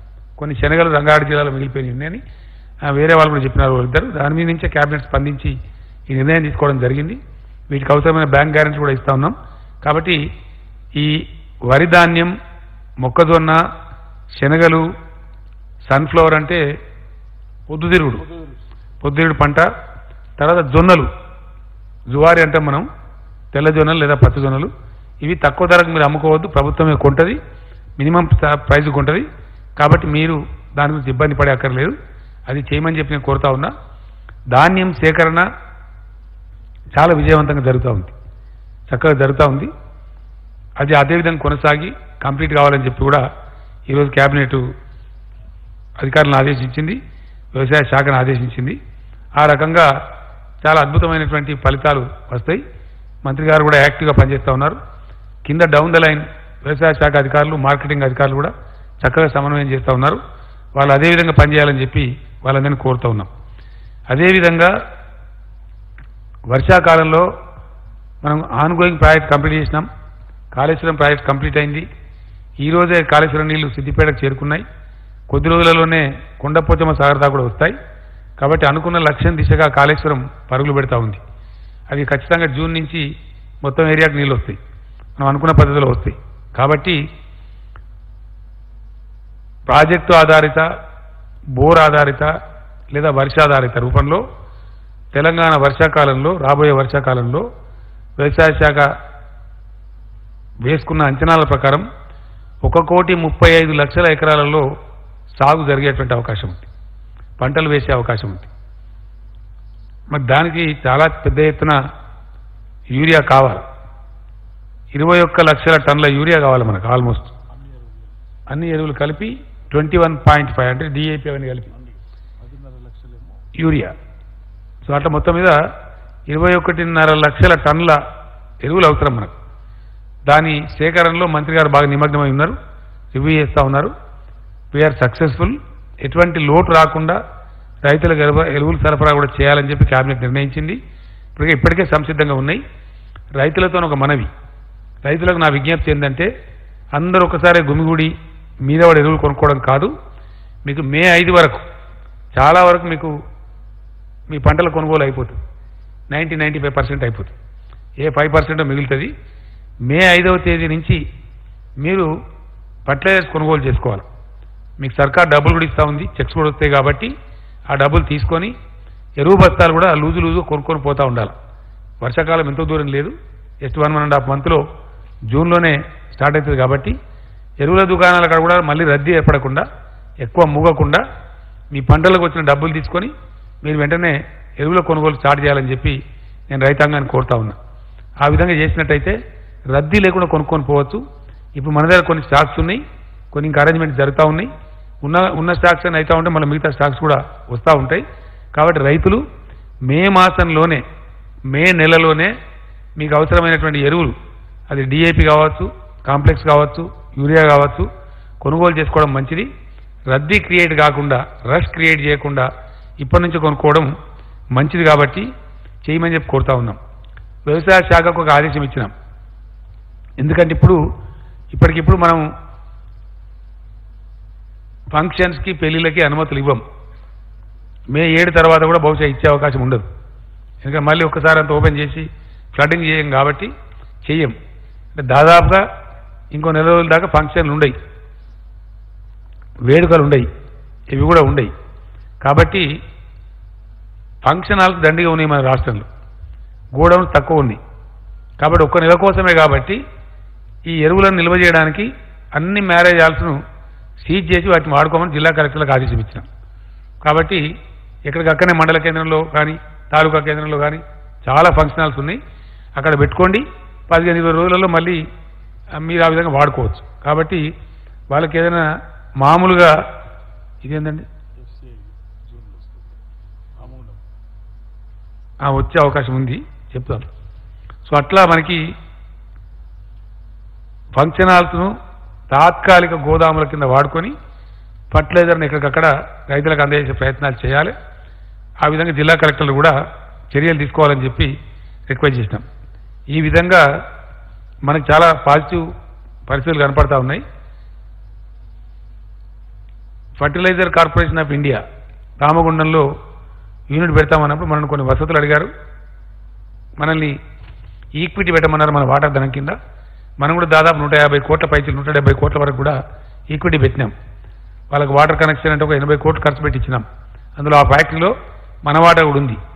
ఆ ఫ్యాక్టరీ గురించి ఇక్కడనే మనకు లోకల్ ఎరువులు దొరికితే చాలా బాధలు తప్పుతాయి కాబట్టి దాన్ని చేయమని చెప్పినాం. బహుశా జూన్లో ఆ ఫ్యాక్టరీ కూడా అందుబాటులోకి వచ్చే అవకాశం ఉంది. వాళ్ళతో ఫర్టిలైజర్ కార్పొరేషన్ ఆఫ్ ఇండియా వాళ్ళతోని వ్యవసాయ శాఖ మంత్రి గారే నిరంజన్ రెడ్డి గారే స్వయంగా మాట్లాడినారు. మోస్ట్ లైక్లీ జూన్లో ఉత్పత్తి ప్రారంభమయ్యే అవకాశం ఉంటుంది. అప్పుడు మనకి ఇంకా కూడా ఎరువుల కొరత బాగా తీరిపోతుంది. ఎక్కడి నుంచో నా ఉత్తర భారతం నుంచి అక్కడి నుంచి రావడం కాకుండా ఈ విధంగా మన రాష్ట్రం యొక్క ఎరువుల వాడకాన్ని ముఖ్యంగా యూరియా వాడకానికి అది చాలా మనకు ఉపయోగపడేటువంటి ఆస్కారం ఉంటుంది. ఇట్లా రాష్ట్రాన్ని కాపాడుకుంటూ అన్ని రంగాలను కూడా కాపాడుకుంటూ అన్ని రకాల ప్రజలను కాపాడుకుంటూ ముందుకు పోవాల్సిన అవసరం దృష్ట్యా ఇది మనం ఈ రకమైనటువంటి నిర్ణయాలు తీసుకున్నాం ముందుకు పోతూ ఉన్నాం. కాబట్టి దయచేసి ప్రజలకు నేను పదే పదే విజ్ఞప్తి చేస్తూ ఉన్నా ఇది ఇంకింత కఠినంగా లాక్డౌన్ అమలు చేయాలి. మరింత కఠినంగా. బయటికి వచ్చే వాళ్ళు రాకండి. ఇప్పటికే చాలా కేసులు పెట్టినారు పోలీసులు. చాలా వాహనాలు సీజ్ చేసినారు. దాదాపు ముప్పై ఐదు నలభై వేల వాహనాలు కూడా సిక్స్టీ అండి. యాభై వేల వాహనాలు కూడా సీజ్ చేసినారు. ఎందుకు అనవసరంగా బయటికి రావడం ఎందుకు? ఆ సీజర్ ఎందుకు? కాబట్టి అత్యవసరం ఉన్న వాళ్ళకు ప్రభుత్వమే కొన్ని పాసులు ఇస్తూ ఉన్నారు. కొంత అవకాశం కల్పిస్తూ ఉన్నారు. కాబట్టి దయచేసి ఇళ్ళ నుంచి రాకండి. వ్యాధి మన దగ్గర తగ్గుతున్నా కూడా తగ్గడం లేదు. సమాన స్థాయిలో ఉంది. ఏ మూలకి ఏ విపత్తు వస్తుందో తెలియదు. అనవసరంగా పూసుకుంటే ఇబ్బంది వస్తుంది. ఇలాగ ఈ జొమాటో ఇంకోటి ఏంటది? ఆ, స్విగ్గీ స్విగ్గీ. దాన్ని మూసేసినామంటే మాకు సంతోషం లేదు. దాని మీద కూడా ప్రభుత్వానికి వచ్చే ట్యాక్స్ పోతుంది యాక్చువల్గా. వాళ్ళు పోతే సేల్స్ ట్యాక్స్ వస్తుంది మనకి ప్రభుత్వానికి. అది ప్రభుత్వం నష్టపడుతుంది. కానీ మూసిన కారణం ఏంటంటే ఆ ఢిల్లీ ఉదాహరణ చూస్తే భయపడతా ఉంది. అనవసరంగా ఎవరు నలుగురికి అంటుకుంటే మళ్ళీ అది వందల మంది వేల మందికి పోతే చాలా ప్రమాదం వచ్చే ఆస్కారం ఉంటుంది. కాబట్టి ఈ చర్యలు ఎవ్వి ప్రభుత్వం తీసుకున్నా దయచేసి ప్రజల యొక్క క్షేమాన్ని ప్రజల యొక్క మేలును దృష్టిలో పెట్టుకొని చేస్తారు తప్ప వేరే ఉద్దేశం కాదు. కాబట్టి అందరూ కూడా సహకరించాలి. ఎక్కడైనా ఇంకేమైనా లోటుపాట్లు ఉన్నట్టయితే ఇంకా కూడా సహాయం చేరకుండా ఉన్నట్టయితే ఇంకా కూడా ఏదైనా ప్రభుత్వ సహకారం మీకు అవసరం ఉన్నట్టయితే వెంటనే డయల్ హండ్రెడ్కి ఫోన్ చేయండి. మీ దగ్గర ఉండేటువంటి మీ శాసనసభలకు తెలియజేయండి మీ సర్పంచ్లకు తెలియజేయండి దాంతోపాటు అధికారులకు తెలియజేయండి. మీ జిల్లా కలెక్టర్ గారు తెలియజేయండి. తప్పకుండా ప్రభుత్వం మీకున్న కష్టాలు తొలగించడానికి అన్ని ప్రయత్నాలు చేస్తుంది. కాబట్టి ఆ రకంగా ముందు పోదాం. ఈ కరోనా బారి నుంచి మనల్ని మనం కాపాడుకుందాం. కాబట్టి ధైర్యంగా ఉంటూ పెద్దలందరూ కూడా ఇప్పటికీ చాలా మంచి పని చేస్తూ ఉన్నారు. చాలా ప్రభుత్వం బాగా చేస్తుందని అభిప్రాయంతో ఉన్నారు. కాబట్టి అదే విధమైనటువంటి ప్రజలు ప్రభుత్వం కలిసి గట్టిగా దీన్ని ఎదుర్కొంటే ఈ ఈ ఉత్పాతం నుంచి ఈ ప్రమాదం నుంచి మనల్ని మనం రక్షించుకోవచ్చు. నేను మళ్ళొక్కసారి గుర్తు చేస్తా ఉన్న ప్రజలకి దీనికి ఇప్పటికీ ప్రపంచంలో మందు లేదు. ఉపశమన చర్యలకు వాడే హైడ్రాక్సీ క్లోరోక్విన్ జ్వరం తగ్గించడానికి అదే పారాసిటమాలు టెంపరేచర్ తగ్గించడానికి తప్పితే అజిత్రోమైసిన్ అని ట్యాబ్లెట్లు అవి తప్ప నిర్దిష్టమైనటువంటి మందు దీనికి లేదు. దీని మళ్ళీ నేను మే ఫిఫ్త్ ఇంకా డీటెయిల్గా చెప్తాను. ఇప్పటిదాకా మందు లేదు. ఇంకా కొన్ని విషయాలు చాలా ఆశ్చర్యంగా ఉన్నాయి. ఎందుకంటే చాలా తమాష తమాష జరగబోద్దని చెప్తా ఉన్నారు. కాబట్టి వ్యవసాయం జరగాల ఆ వ్యవసాయం కూడా దయచేసి విడివిడిగా ఉండాలా? ఒక మాట చెప్తాను నేను ముగించే ముందు. ఈరోజు ఇండియా నూట ముప్పై ఐదు కోట్ల జనాభా ఉన్న భారతావనికి అన్నం పెట్టగలిగేటువంటి దేశం ఏదైనా ఉందా ప్రపంచంలో లేదు. మన పెద్దలు చెప్తారు పిచ్చిపిచ్చి పనులు చేస్తే దరిద్రం పోతావు నువ్వు దెబ్బతింటావు దివాలా అవుతావు దివాలా అయితే అడుక్కొని తినాలని చెప్తారు. మనం కూడా వ్యవసాయం నిర్లక్ష్యం చేస్తే అడుక్కొని తినాలంటారు అడుక్కొని తిందామంటే కూడా పెట్టే శక్తి ఉనికి లేదు. అంటే మన వ్యవసాయాన్ని మనం కాపాడుకోవాలి. మన రైతాంగాన్ని కాపాడుకోవాలి. నూట ముప్పై ఐదు కోట్ల కడుపులు నిండాలి రెండు పూటలు అంటే మనకు ఏ దేశానికి కూడా మన మన తెలంగాణ కంటేనే వంద దేశాలు చిన్నవి ఉన్నాయి. ఈ గ్లోబ్ మీద. మనతో పాటు సమానంగా మనకన్నా కొంచెం పెద్దగా ఉన్న దేశం చైనా ఉంది. వాళ్ళ పొట్టలకు వాళ్ళే సరిపోతారు. కాబట్టి మన పొట్టలు మనమే నింపుకోవాలి. అందువల్ల వ్యవసాయానికి ఉన్న ఇంపార్టెన్స్ అది కాబట్టి వ్యవసాయాన్ని కొనసాగించాలి. వ్యవసాయ పనులు కొనసాగించాలి. దాని అనుబంధ పరిశ్రమలు కూడా కొనసాగించాలి. ఫుడ్ ప్రాసెసింగ్ యూనిట్స్ కూడా కొనసాగించాలి. ఎందువల్ల? మనకు ఆహారం అవసరం కాబట్టి. ప్రపంచమే ఇప్పుడు ఆహార విధానంలో ఒడిదుడుకులకు లోనయ్యేటువంటి ఆస్కారం ఉంది. మనం భారతదేశం ఆల్రెడీ సెల్ఫ్ రిలయంట్గా ఉన్నాం. అంటే స్వావలంబన ఫుడ్ సెక్టర్లో ఆహార నిల్వలలో ఆహార విధానంలో మనము ఇంకో నడుకోతనే పరిస్థితులు లేం భారతదేశం. అందుకనే మన ప్రధానమంత్రి గారు చెప్పింది కూడా భారతదేశం ఎట్టి పరిస్థితులలో మనం ఖచ్చితంగా వ్యవసాయం నిర్లక్ష్యం చేయవద్దు నరేగాను కూడా కలపండి అని చెప్పినాం. భారత ప్రభుత్వాన్ని కోరినాం. ఇందాకనే ప్రైమ్ మినిస్టర్ గారు నాతో మాట్లాడినారు. నేను మళ్ళా కూడా చెప్పినాను. ఒక ఇంకో విషయం కూడా ఇక్కడ చెప్పాల్సిన అక్కడ ఉంది. ఆర్థిక పరంగా దేశం ముందుకు రావాలి. సెంట్రల్ బ్యాంకులు రిజర్వ్ బ్యాంకులు ఏ దేశమైనా పెట్టుకునేది ఎందుకు? ఎట్టి పరిస్థితుల్లో ఇట్లాంటి విపత్తులు వచ్చినప్పుడు విపత్కర పరిస్థితి వచ్చినప్పుడు పెట్టాల్సిన అవసరం ఉంటుంది. మళ్ళా ఒకసారి నేను అప్పీల్ చేస్తా ఉన్నా భారత ప్రభుత్వానికి ఈ దేశంలో ఫిజికల్ పాలసీ మీ చేతుల్లో ఉంది రాష్ట్రాల చేతుల్లో లేదు. దేశ విత్త విధానం దాని కరెక్ట్ తెలుగులో చెప్పాలంటే దేశం యొక్క విత్త విధానం కంట్రీస్ ఆర్ ఎకనామిక్ పాలసీ కేంద్రం తన ఆధీనంలో పెట్టుకున్నది. కేంద్ర ఆధీనంలోనే అది ఉంది కాబట్టి ఏం చేయాలన్నా కేంద్రం చేయాలి. కాబట్టి సత్వరమే కేంద్రం నిర్ణయాలు తీసుకున్నాం. ప్రైమ్ మినిస్టర్ గారిని ఇప్పుడు కూడా కోరినాం. Even now I requested the honourable Prime Minister వెంటనే ఎఫ్ఆర్బిఎం పెంచండి రాష్ట్రాలకు. అది మీ మీద పడే భారమేం కాదు. రాష్ట్రాలే తిరిగి తీర్చుకుంటాయి. ఇప్పుడు అవసరం. ఇప్పుడు మేము జీతాలు ఇవ్వలేక బాధపడతా ఉన్నాం వాళ్ళు అర్ధాకలితో ఉంచుతున్నాం మా ఉద్యోగస్తుల్ని. చాలా చాలా కంజెషన్. ఎందుకంటే భవిష్యత్తు ఏందో తెలియదు కాబట్టి చాలా చూసుకొని నడవాల్సి వస్తూ ఉన్నది. అత్యవసర విభాగాలు కొనసాగాల. వాళ్ళు కష్టం రిస్క్ తీసుకొని పనిచేస్తున్నారు కాబట్టి వాళ్ళని కొంచెం ప్రోత్సహించాలా. ఇవన్నీ బ్యాలెన్స్ చేసుకొని పోవాలి. ఇది చాలా కష్టంతో కూడుకున్న పని. కాబట్టి మేము నేను మొన్న చెప్పిన క్వాంటిటేటివ్ ఈజింగ్ హెలికాప్టర్ మనీ అని చెప్పిన. అది కొందరికి అర్థమైంది కొందరికి అర్థం కాలేదు. ఈ ఎకానమిస్టులు ఉంటారు ఆర్థిక శాస్త్రవేత్తలు. వీళ్ళు ఒక మూట ఉండరు. వాళ్ళకు రకరకాల ఆలోచనలు ఉంటాయి. ఒక ఆయన దాన్ని మించింది లేదని ఇంకొక ఆయన చెప్తున్నారు కొంత కొంతమంది. కొంతమంది అయితే పనికిరాదని చెప్తున్నారు. వాళ్ళు వాళ్ళకి అంత భిన్న ధృవాలు ఉంటాయి. ఈ పండితులకు పైత్యం ఎక్కువ. వాళ్ళు జనరల్గా ఏంటంటే రకరకాల భిన్న ఆలోచనలు కలిగి ఉండి భిన్నమైనవి చెప్తారు. నేనేమంటున్నా అంటే నేను ప్రపోజ్ చేసినటువంటి క్వాంటిటేటివ్ ఈజింగ్ కాకపోతే క్వాలిటేటివ్ ఈజింగ్ ఇవ్వండి ఇంకో రూపం తీసుకోండి. హెలికాప్టర్ మనీ కాకపోతే ఎయిర్ క్రాఫ్ట్ మనీ ఇవ్వండి కేసీఆర్ చెప్పింది చేయనని లేదు కదా?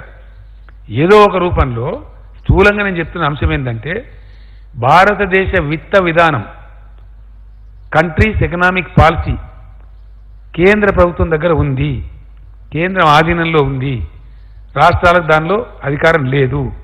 కాబట్టి కేంద్రం తక్షణం స్పందించాల్సిన అవసరం ఉంది. ఏ పద్ధతి వీలైతే ఆ పద్ధతి? కేసీఆర్ చెప్పిన పద్ధతి అని అనుకోవడానికి అవసరం లేదు. ఏ పద్ధతి ఉత్తమం అనుకుంటే ఆ పద్ధతి. ఆ పద్ధతిలో రాష్ట్రాలకు అవసరమైన వెసులుబాటు కేంద్రం వెంటనే కల్పించాలి. లేకపోతే ఇబ్బంది వస్తుంది. చాలా ఇబ్బంది వస్తుంది. చాలా ఘోరమైన పరిస్థితులు ఏర్పడే అవకాశం ఉంటుంది. ఒక అరాచకం ఏర్పడే అవకాశం ఉంటుంది. కాబట్టి కేంద్రం ఇంకా తాత్సారం చేయకుండా మేము ఎక్స్పెక్ట్ చేస్తున్నాం. ప్రైమ్ మినిస్టర్ గారు కూడా నాకు ఇప్పుడు ఆశాభంగానే మాట్లాడినారు. చేస్తున్నాం మా ప్రయత్నం మేము చేస్తున్నాం వారు కూడా చెప్పిండ్రు చాలా పాజిటివ్ నిర్ణయాలు కేంద్రం నుంచి వస్తాయనే మేము ఆశతో ఉన్నాం ఎదురు చూస్తూ ఉన్నాం. ఆ విధంగా చూద్దాం పరిస్థితులు ఏ విధంగా వస్తాయో. దాన్ని బట్టి ముందు ముందు మనం కూడా నిర్ణయాలు తీసుకుంటాం. థ్యాంక్ యూ ఆయన కానీ కదా.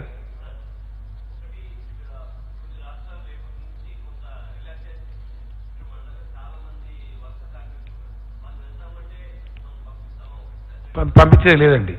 నో ఇంటర్నేషనల్ లేదండి. ఓన్లీ డొమెస్టిక్ అంటున్నారు ఫోర్త్ నుంచి ఇంటర్నేషనల్ లేదు. టికెట్ కూడా ఇప్పుడు బుక్ చేసుకోమని విమానయాన సంస్థలు చెప్తున్నది డొమెస్టిక్ వాటికి మాత్రమే. అది మే ఫోర్త్ నుంచి అని చెప్తున్నారు. మా దగ్గర మే ఫోర్త్ కూడా మేము అనుమతించాం. ఎట్టి పరిస్థితులలో ఓన్లీ ఆఫ్టర్ మే సెవెంత్. అది మే ఫిఫ్త్ తర్వాత.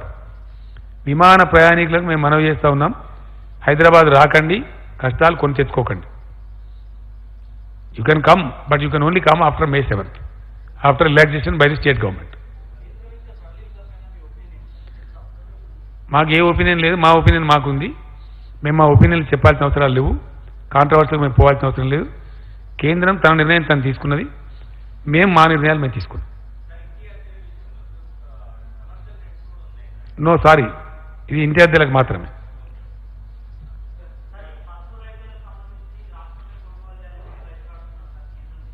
గతంలో ఎప్పుడు కొనుగోలు చేయలేదు. అది అంతా భారీ పంట కాదు. అది పరిశీలిస్తాం. వీల్ ఎగ్జామిన్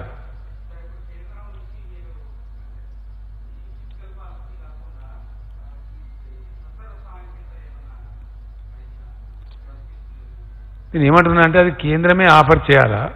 వాళ్ళు ఏం చేసిందంటే నేరుగా ముందు ఒక one lakh seventy thousand crores package ప్రకటించినారు. ప్రకటించి ఇచ్చినారు. ఇది రకరకాల పద్ధతులు ఇచ్చినారు. జన్ ధన్ ఖాతా ఉన్న ఒక ఫైవ్ హండ్రెడ్ రూపీస్ వేయటం బియ్యం ఇవ్వటం ఇట్లాంటి కొన్ని కార్యక్రమాలు చేసినారు. ప్రధానమంత్రి గారు స్వయంగా చెప్పినారు పథకాలు కలిపివ్వండి ఇందులో పోటీ అవసరం లేదు డబ్బు దుబారా వద్దు ఎంత అవసరమో అంత ఇవ్వండి అని చెప్పినారు.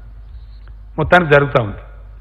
మేమేమంటున్నామంటే అది పేదలను ఆదుకోవడానికి అనుకోకుండా వచ్చిన ఉత్పాతాన్ని ఆదుకోవడానికి తాత్కాలిక ఉపశమన చర్యలకి అది దోహదపడుతుంది. ఇప్పుడు సపోజ్ మేము ఇస్తున్నాం బియ్యం ఇస్తున్నాం పన్నెండు కిలోలు ఫ్రీ ఇస్తున్నాం ఒక పదిహేను వందల రూపాయలు ఇస్తున్నాం. అది మినిమం గ్యారంటీ. కనీసం కూరో కాయో పప్పో పులుసో తినడానికి ఉపయోగిస్తుంది మొత్తానికి కాదు. మొత్తానికి జరగాలంటే రాష్ట్రాలు ఆర్థికంగా పటిష్టంగా ఉండాలి. ఉంటే పాలసీలు కరెక్ట్ చేయగలుగుతారు. సపోజ్ మేము మిమ్మల్ని అడిగింది ఏంటంటే ఫర్ ఎగ్జాంపుల్ మేము ధాన్యం కొంటున్నప్పుడు రైతు దగ్గర నుంచి. దాన్ని మేము మొత్తానికి మొత్తం ఇవ్వలేం. వరి ధాన్యం మేరకు ఎఫ్సీఐకి ఇస్తాం. ఇస్తే ఎఫ్సీఐ వాళ్ళు ధాన్యం తీసుకోరు బియ్యం తీసుకుంటారు మన దగ్గర. దాని కస్టమైజ్డ్ మిల్లింగ్ ఎఫ్సీఐకి ఏ గ్రేడ్లో అవసరం ఉంటుందో ఆ స్థాయికి మిల్లింగ్ చేసి మనం ఇవ్వాలి. ఇదంతా ప్రాసెస్ ఇదంతా అయిపోయి చివరి రూపాయి మనది మనకు రావడానికి ఎఫ్సీఐకి మనం ఇస్తే ఎఫ్సీఐ మనకిచ్చే ఈ మధ్యలో ఒక నాలుగు ఐదు ఆరు నెలలు పడుతుంది. ఇంత స్పీడ్గా చేసినా కూడా. పడితే ఆ టైంలో వచ్చే ఇంట్రెస్ట్ ఏదైతే ఉంటుందో ఈ యాప్ మీద అది రాష్ట్ర ప్రభుత్వం మీద పడుతుంది. దాన్ని మాఫీ చేయండి అని అడిగినాం మనం. అది భారం కానియకండి రాష్ట్రం మీద. దాన్ని మాఫీ చేయండి ఆదేశం ఇవ్వండి మీరు ఆర్బీఐ ద్వారా బ్యాంకులకు ఆర్డర్స్ ఇవ్వండి అని అడిగినాం. అదేం గొంతేమ కోరిక కాదు కదా? కేంద్రం చేయవచ్చు. నేను ప్రైమ్ మినిస్టర్ అదే చెప్పిన. క్వాంటిటేటివ్ ఈజింగ్ హెలికాప్టర్ మనీ అట్లా పెట్టినా ఇవన్నీ చేయొచ్చు కదా అర్జెంటుగా. రాష్ట్రాల యొక్క రుణ పరిమితి పెంచవచ్చు నథింగ్ ప్రివెంట్స్ ఇట్లాంటి నేను చెప్పినటువంటి వాటి సడలింపులు ఇవ్వవచ్చు. నథింగ్ ప్రివెంట్స్ మేము ఇంకోటి అడిగినాం. ఈ సిక్స్ మంత్స్ ఎకానమీ దెబ్బతింటాం కాబట్టి first quarter of twenty twenty one and second quarter మేము రాష్ట్ర ప్రభుత్వాలు చెల్లించే అప్పులు ఉన్నాయి. అందులో మేము రెండు రకాల అప్పులు ఉంటాయి మాకు. కేంద్రానికి రిజర్వ్ బ్యాంక్ పూచి ఉండి ఇచ్చినటువంటి అప్పులు ఉంటాయి. దాన్ని ఎఫ్ఆర్బిఎం లోన్స్ అంటారు. అదర్ దాని ఎఫ్ఆర్బిఎం లోన్స్ మా జిఎస్డిపి అగ్నెస్ట్గా మేము తీసుకునేవి ఉంటాయి. సపోజ్ మనం కాళేశ్వరం ప్రాజెక్ట్ తెచ్చుకున్నాం బాలమూరు తెచ్చుకున్నాం ఆర్ఈసీ నుంచి కానీ పిఎఫ్సి నుంచి కానీ తెచ్చుకున్నాం. వాటిని డిఫర్మెంట్ అడిగినాం. వాటిని ఏమడిగినామంటే వాయిదా వేయించండి అని అడిగినాం. వాయిదా వేయించే అధికారం మాకుంటే మేమే డీల్ చేసుకుందాం ఆ సంస్థలతో అధికారం మాకు లేదు. ఆ పాలసీ సెంటర్ తన దగ్గర పెట్టుకున్నది. కాబట్టి సెంటర్ హ్యాస్ టు ఇంటర్వ్యూన్ అని చేయాలని చెప్పినాం. ఇట్లాంటి అయినా సరే తొందరగా చేయాలని మేము కోరుతున్నాం మల్లేశం గారు. ఎఫ్ఆర్బిఎం కానీ ఈ రకమైనటువంటి ఖచ్చితంగా ఎట్టి పరిస్థితుల్లో చేయాలని చెప్పి కోరుతున్నాం మేము. నథింగ్ రాంగ్ కదా. ఇది కేంద్రం మీద పడే భారం ఏం లేదు. భారం మా మీదనే పడుతుంది. రాష్ట్రాల మీదనే పడుతుంది. వాళ్ళు దేవ్ నథింగ్ టు లూజ్ కాబట్టి they can easily do it ఇవైనా సరే తాత్సారం చేయకుండా ఆలస్యం చేయకుండా మీరు చెయ్యండి అని ఇంతకు ముందే జస్ట్ హాఫ్ అన్ అవర్ బిఫోరే నేను ప్రైమ్ మినిస్టర్ గారిని మళ్ళీ ఒకసారి రిపీటెడ్ కోరినాను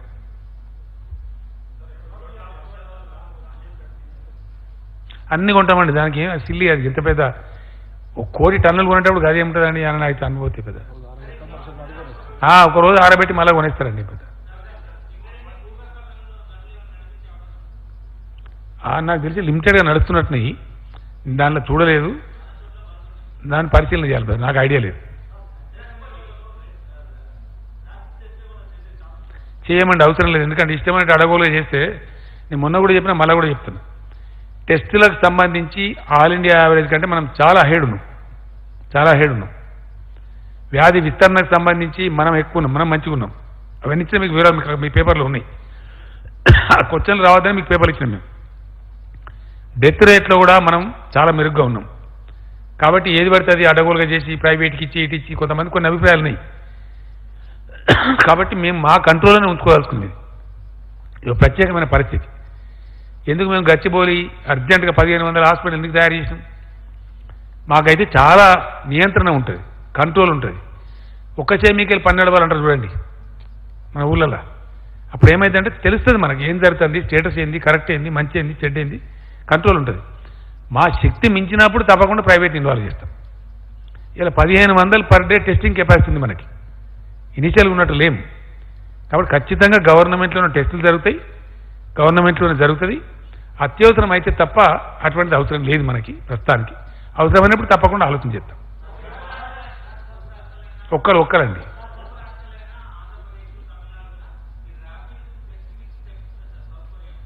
తెప్పించే అవసరం లేదండి మనకే వచ్చినాయి ఆల్రెడీ. ఎవరు తెప్పించే అవసరం లేదు గవర్నమెంట్ ఆఫ్ ఇండియానే పంపిస్తున్నది. మనకు కూడా కొన్ని వచ్చినాయి.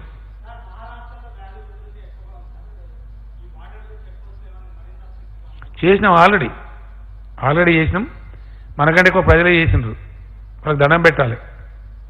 ఎందుకంటే అన్ని గ్రామాల ప్రజలు కూడా రోడ్లను తవ్వేసిందండి మాకు రావద్దని చెప్పి. ఇంకా తమాషా ఏంటంటే హైదరాబాద్ నుంచి పోతే ఊళ్ళో కూడా ఊరు వ్యక్తులను కూడా రాణించలేరు మీకు కూడా తెలిసి ఉంటే కొన్ని ఉదంతాలు అంత కఠినంగా ఉన్నాయి గ్రామాలు. బాగా నియంత్రణ పాటిస్తున్నారు వాళ్ళు.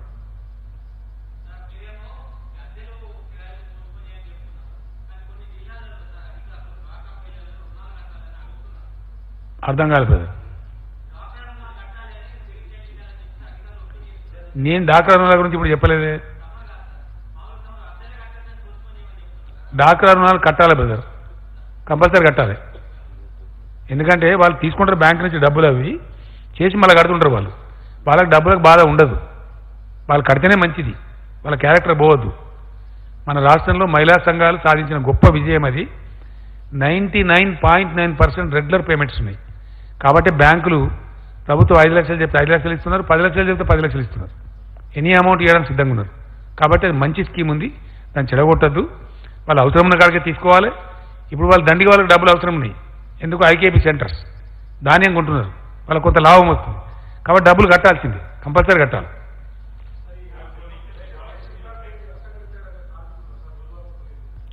నేనేం చెప్తున్నా అంటే ఎవరన్నా ఇబ్బంది ఉంటే మేము అందరిని ఆదుకుంటున్నాం. ఇబ్బంది ఉంటే ప్లీజ్ డయల్ హండ్రెడ్ రైట్ ఏందండి? ఏ విషయంలో తప్పట్టిందండి ఏ దానిలో? వాళ్ళు ప్రభుత్వానికి వచ్చినప్పుడు చాలా గొప్పగా చేయమని చెప్తామండి గరీబ్ వాళ్ళు ఎందుకంటే అనవసరం వాళ్ళ గురించి? ఏం అర్థం పత్తం ఉండాలి కదా మాట్లాడడానికి.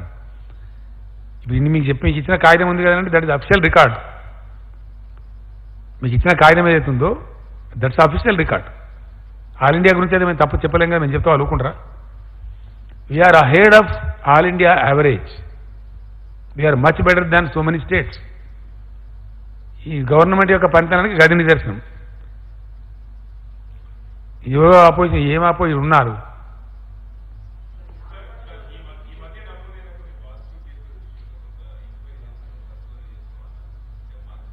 అర్థమవుతలేదండి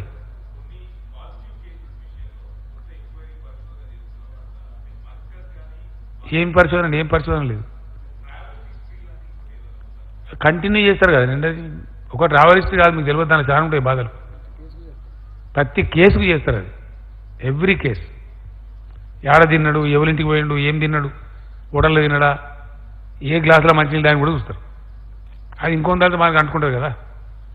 చాలా స్ట్రిక్ట్ మెజర్స్ ఉంటాయి అవి. చాలా కఠినంగా చేస్తారు. దానిలో అనుమానమే అవసరం లేదు దయచేసి. ఎవరన్నా కానివ్వండి అనుమానితులు ఉంటే ఖచ్చితంగా చేస్తారు. పాజిటివ్ వచ్చిన కేసులను అయితే వదలనే వదలరు.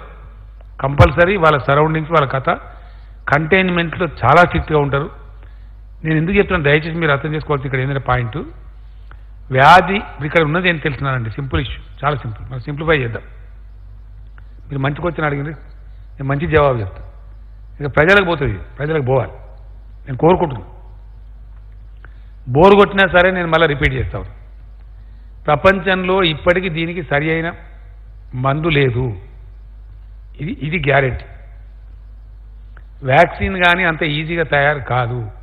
అది టైం టేకింగ్. అంత సులభం కాదు. అయితే మనం అరికట్టగలిగేది ఏంది?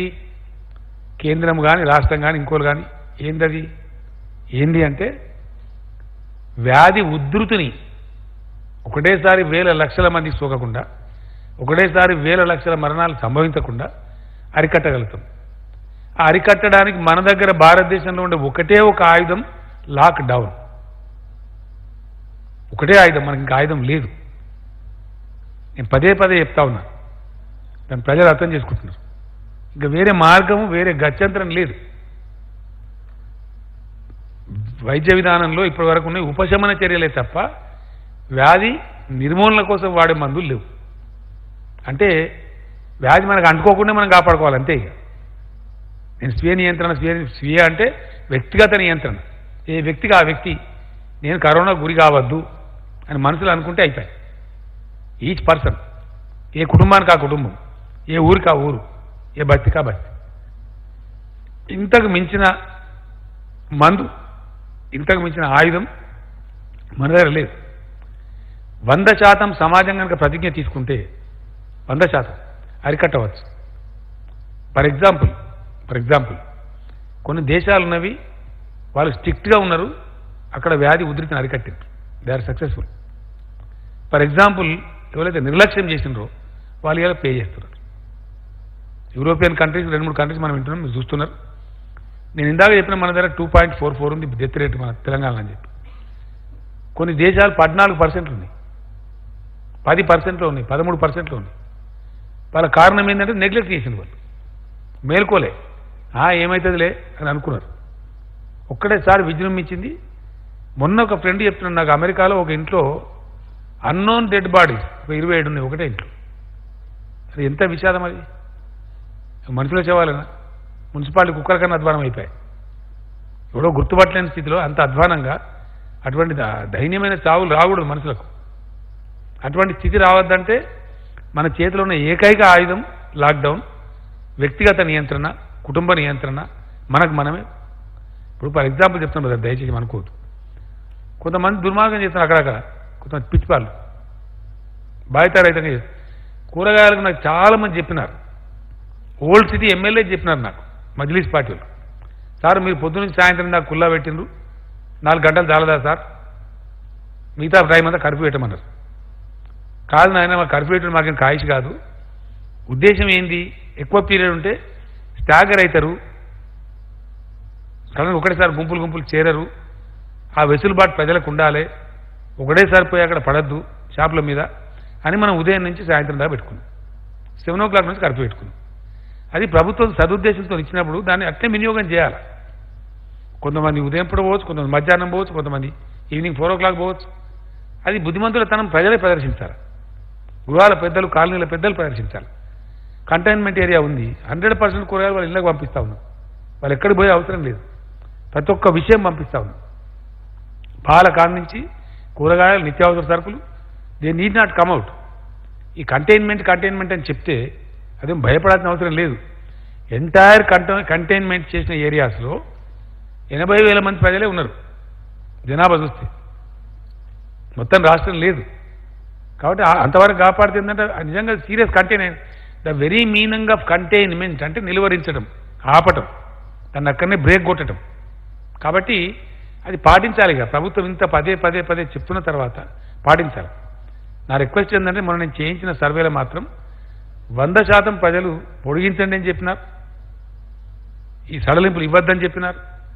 మా నిర్ణయం ప్రజా నిర్ణయం ఇది. మా సొంత నిర్ణయం కాదు ప్రభుత్వం పంతొమ్మిది నాడు క్యాబినెట్ ఉంటుంది నిర్ణయం చేయాల్సిన అక్కడ ఉంటుందని చెప్పిన తర్వాత నేను సర్వే చేయించిన.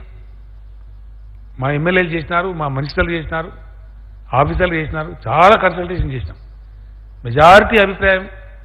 చాలామంది జర్నలిస్ట్ మిత్రులు చాలామంది చెప్పినారు. ఖచ్చితంగా కంటిన్యూ చేయండి సార్ మరి రిస్క్ వద్దని కూడా చెప్పినారు. మాకేమి ప్రజలు ఇబ్బంది పెట్టడం ఇష్టం ఉంటుందా? ఆదాయం వస్తలేదు ప్రభుత్వానికి. మొత్తం నూట ముప్పై కోట్లు నూట నలభై కోట్లు వచ్చింది ఈ నెలలో. ఒక నెల మీద మనకు అన్ని రకాలు కలిపి ఫిఫ్టీన్ థౌజండ్ క్రోర్స్ రావాలి. పదిహేను వేల కోట్లు. మనం కొన్ని పేపర్లు తప్పు రాసినాయి. ఏప్రిల్ మాసానికి నాలుగు వేల కోట్లు. ఏప్రిల్ మాసానికి కాదు. మనకు మామూలుగా వచ్చేదే మన సొంతమే పన్నెండు వేల కోట్లు. ఇక మన ఎఫ్ఆర్బిఎం సెంట్రల్ స్పాన్సర్ స్కీమ్స్ అవన్నీ కలిపితే తెలంగాణ మనకు రావాల్సిన ఆదాయం ప్రభుత్వం దగ్గరికి వచ్చి ఖర్చు కావాల్సిన ఆదాయం డబ్బులు పదిహేను వేల కోట్ల పైచీలకు పర్ మంత్. అందులో మనం మన సొంత రాబడి అయితే ఓన్లీ నూట ముప్పై నూట నలభై కోట్లు దాటలేదు. లేదు కదా యాక్టివిటీ క్లోజ్ అయింది కాబట్టి లేదు. వాహనాలు తిరిగితే కొంత మనకు పెట్రోల్ డీజిల్ మీద కొంత వస్తుంది. బంద్ అయిపోయి మనమే బంద్ చేస్తుంది ఇది అనేక రకాలుగా ఉంది. దీని అన్నిటి తట్టుకొని ప్రభుత్వం ముందుకోవాలి కేంద్రం ముందుకు రావాలి. ఈ రెండు ప్రభుత్వాలతో పాటు ప్రజలు కూడా కలిస్తే వంద శాతం సక్సెస్ అవుతాం. Thank you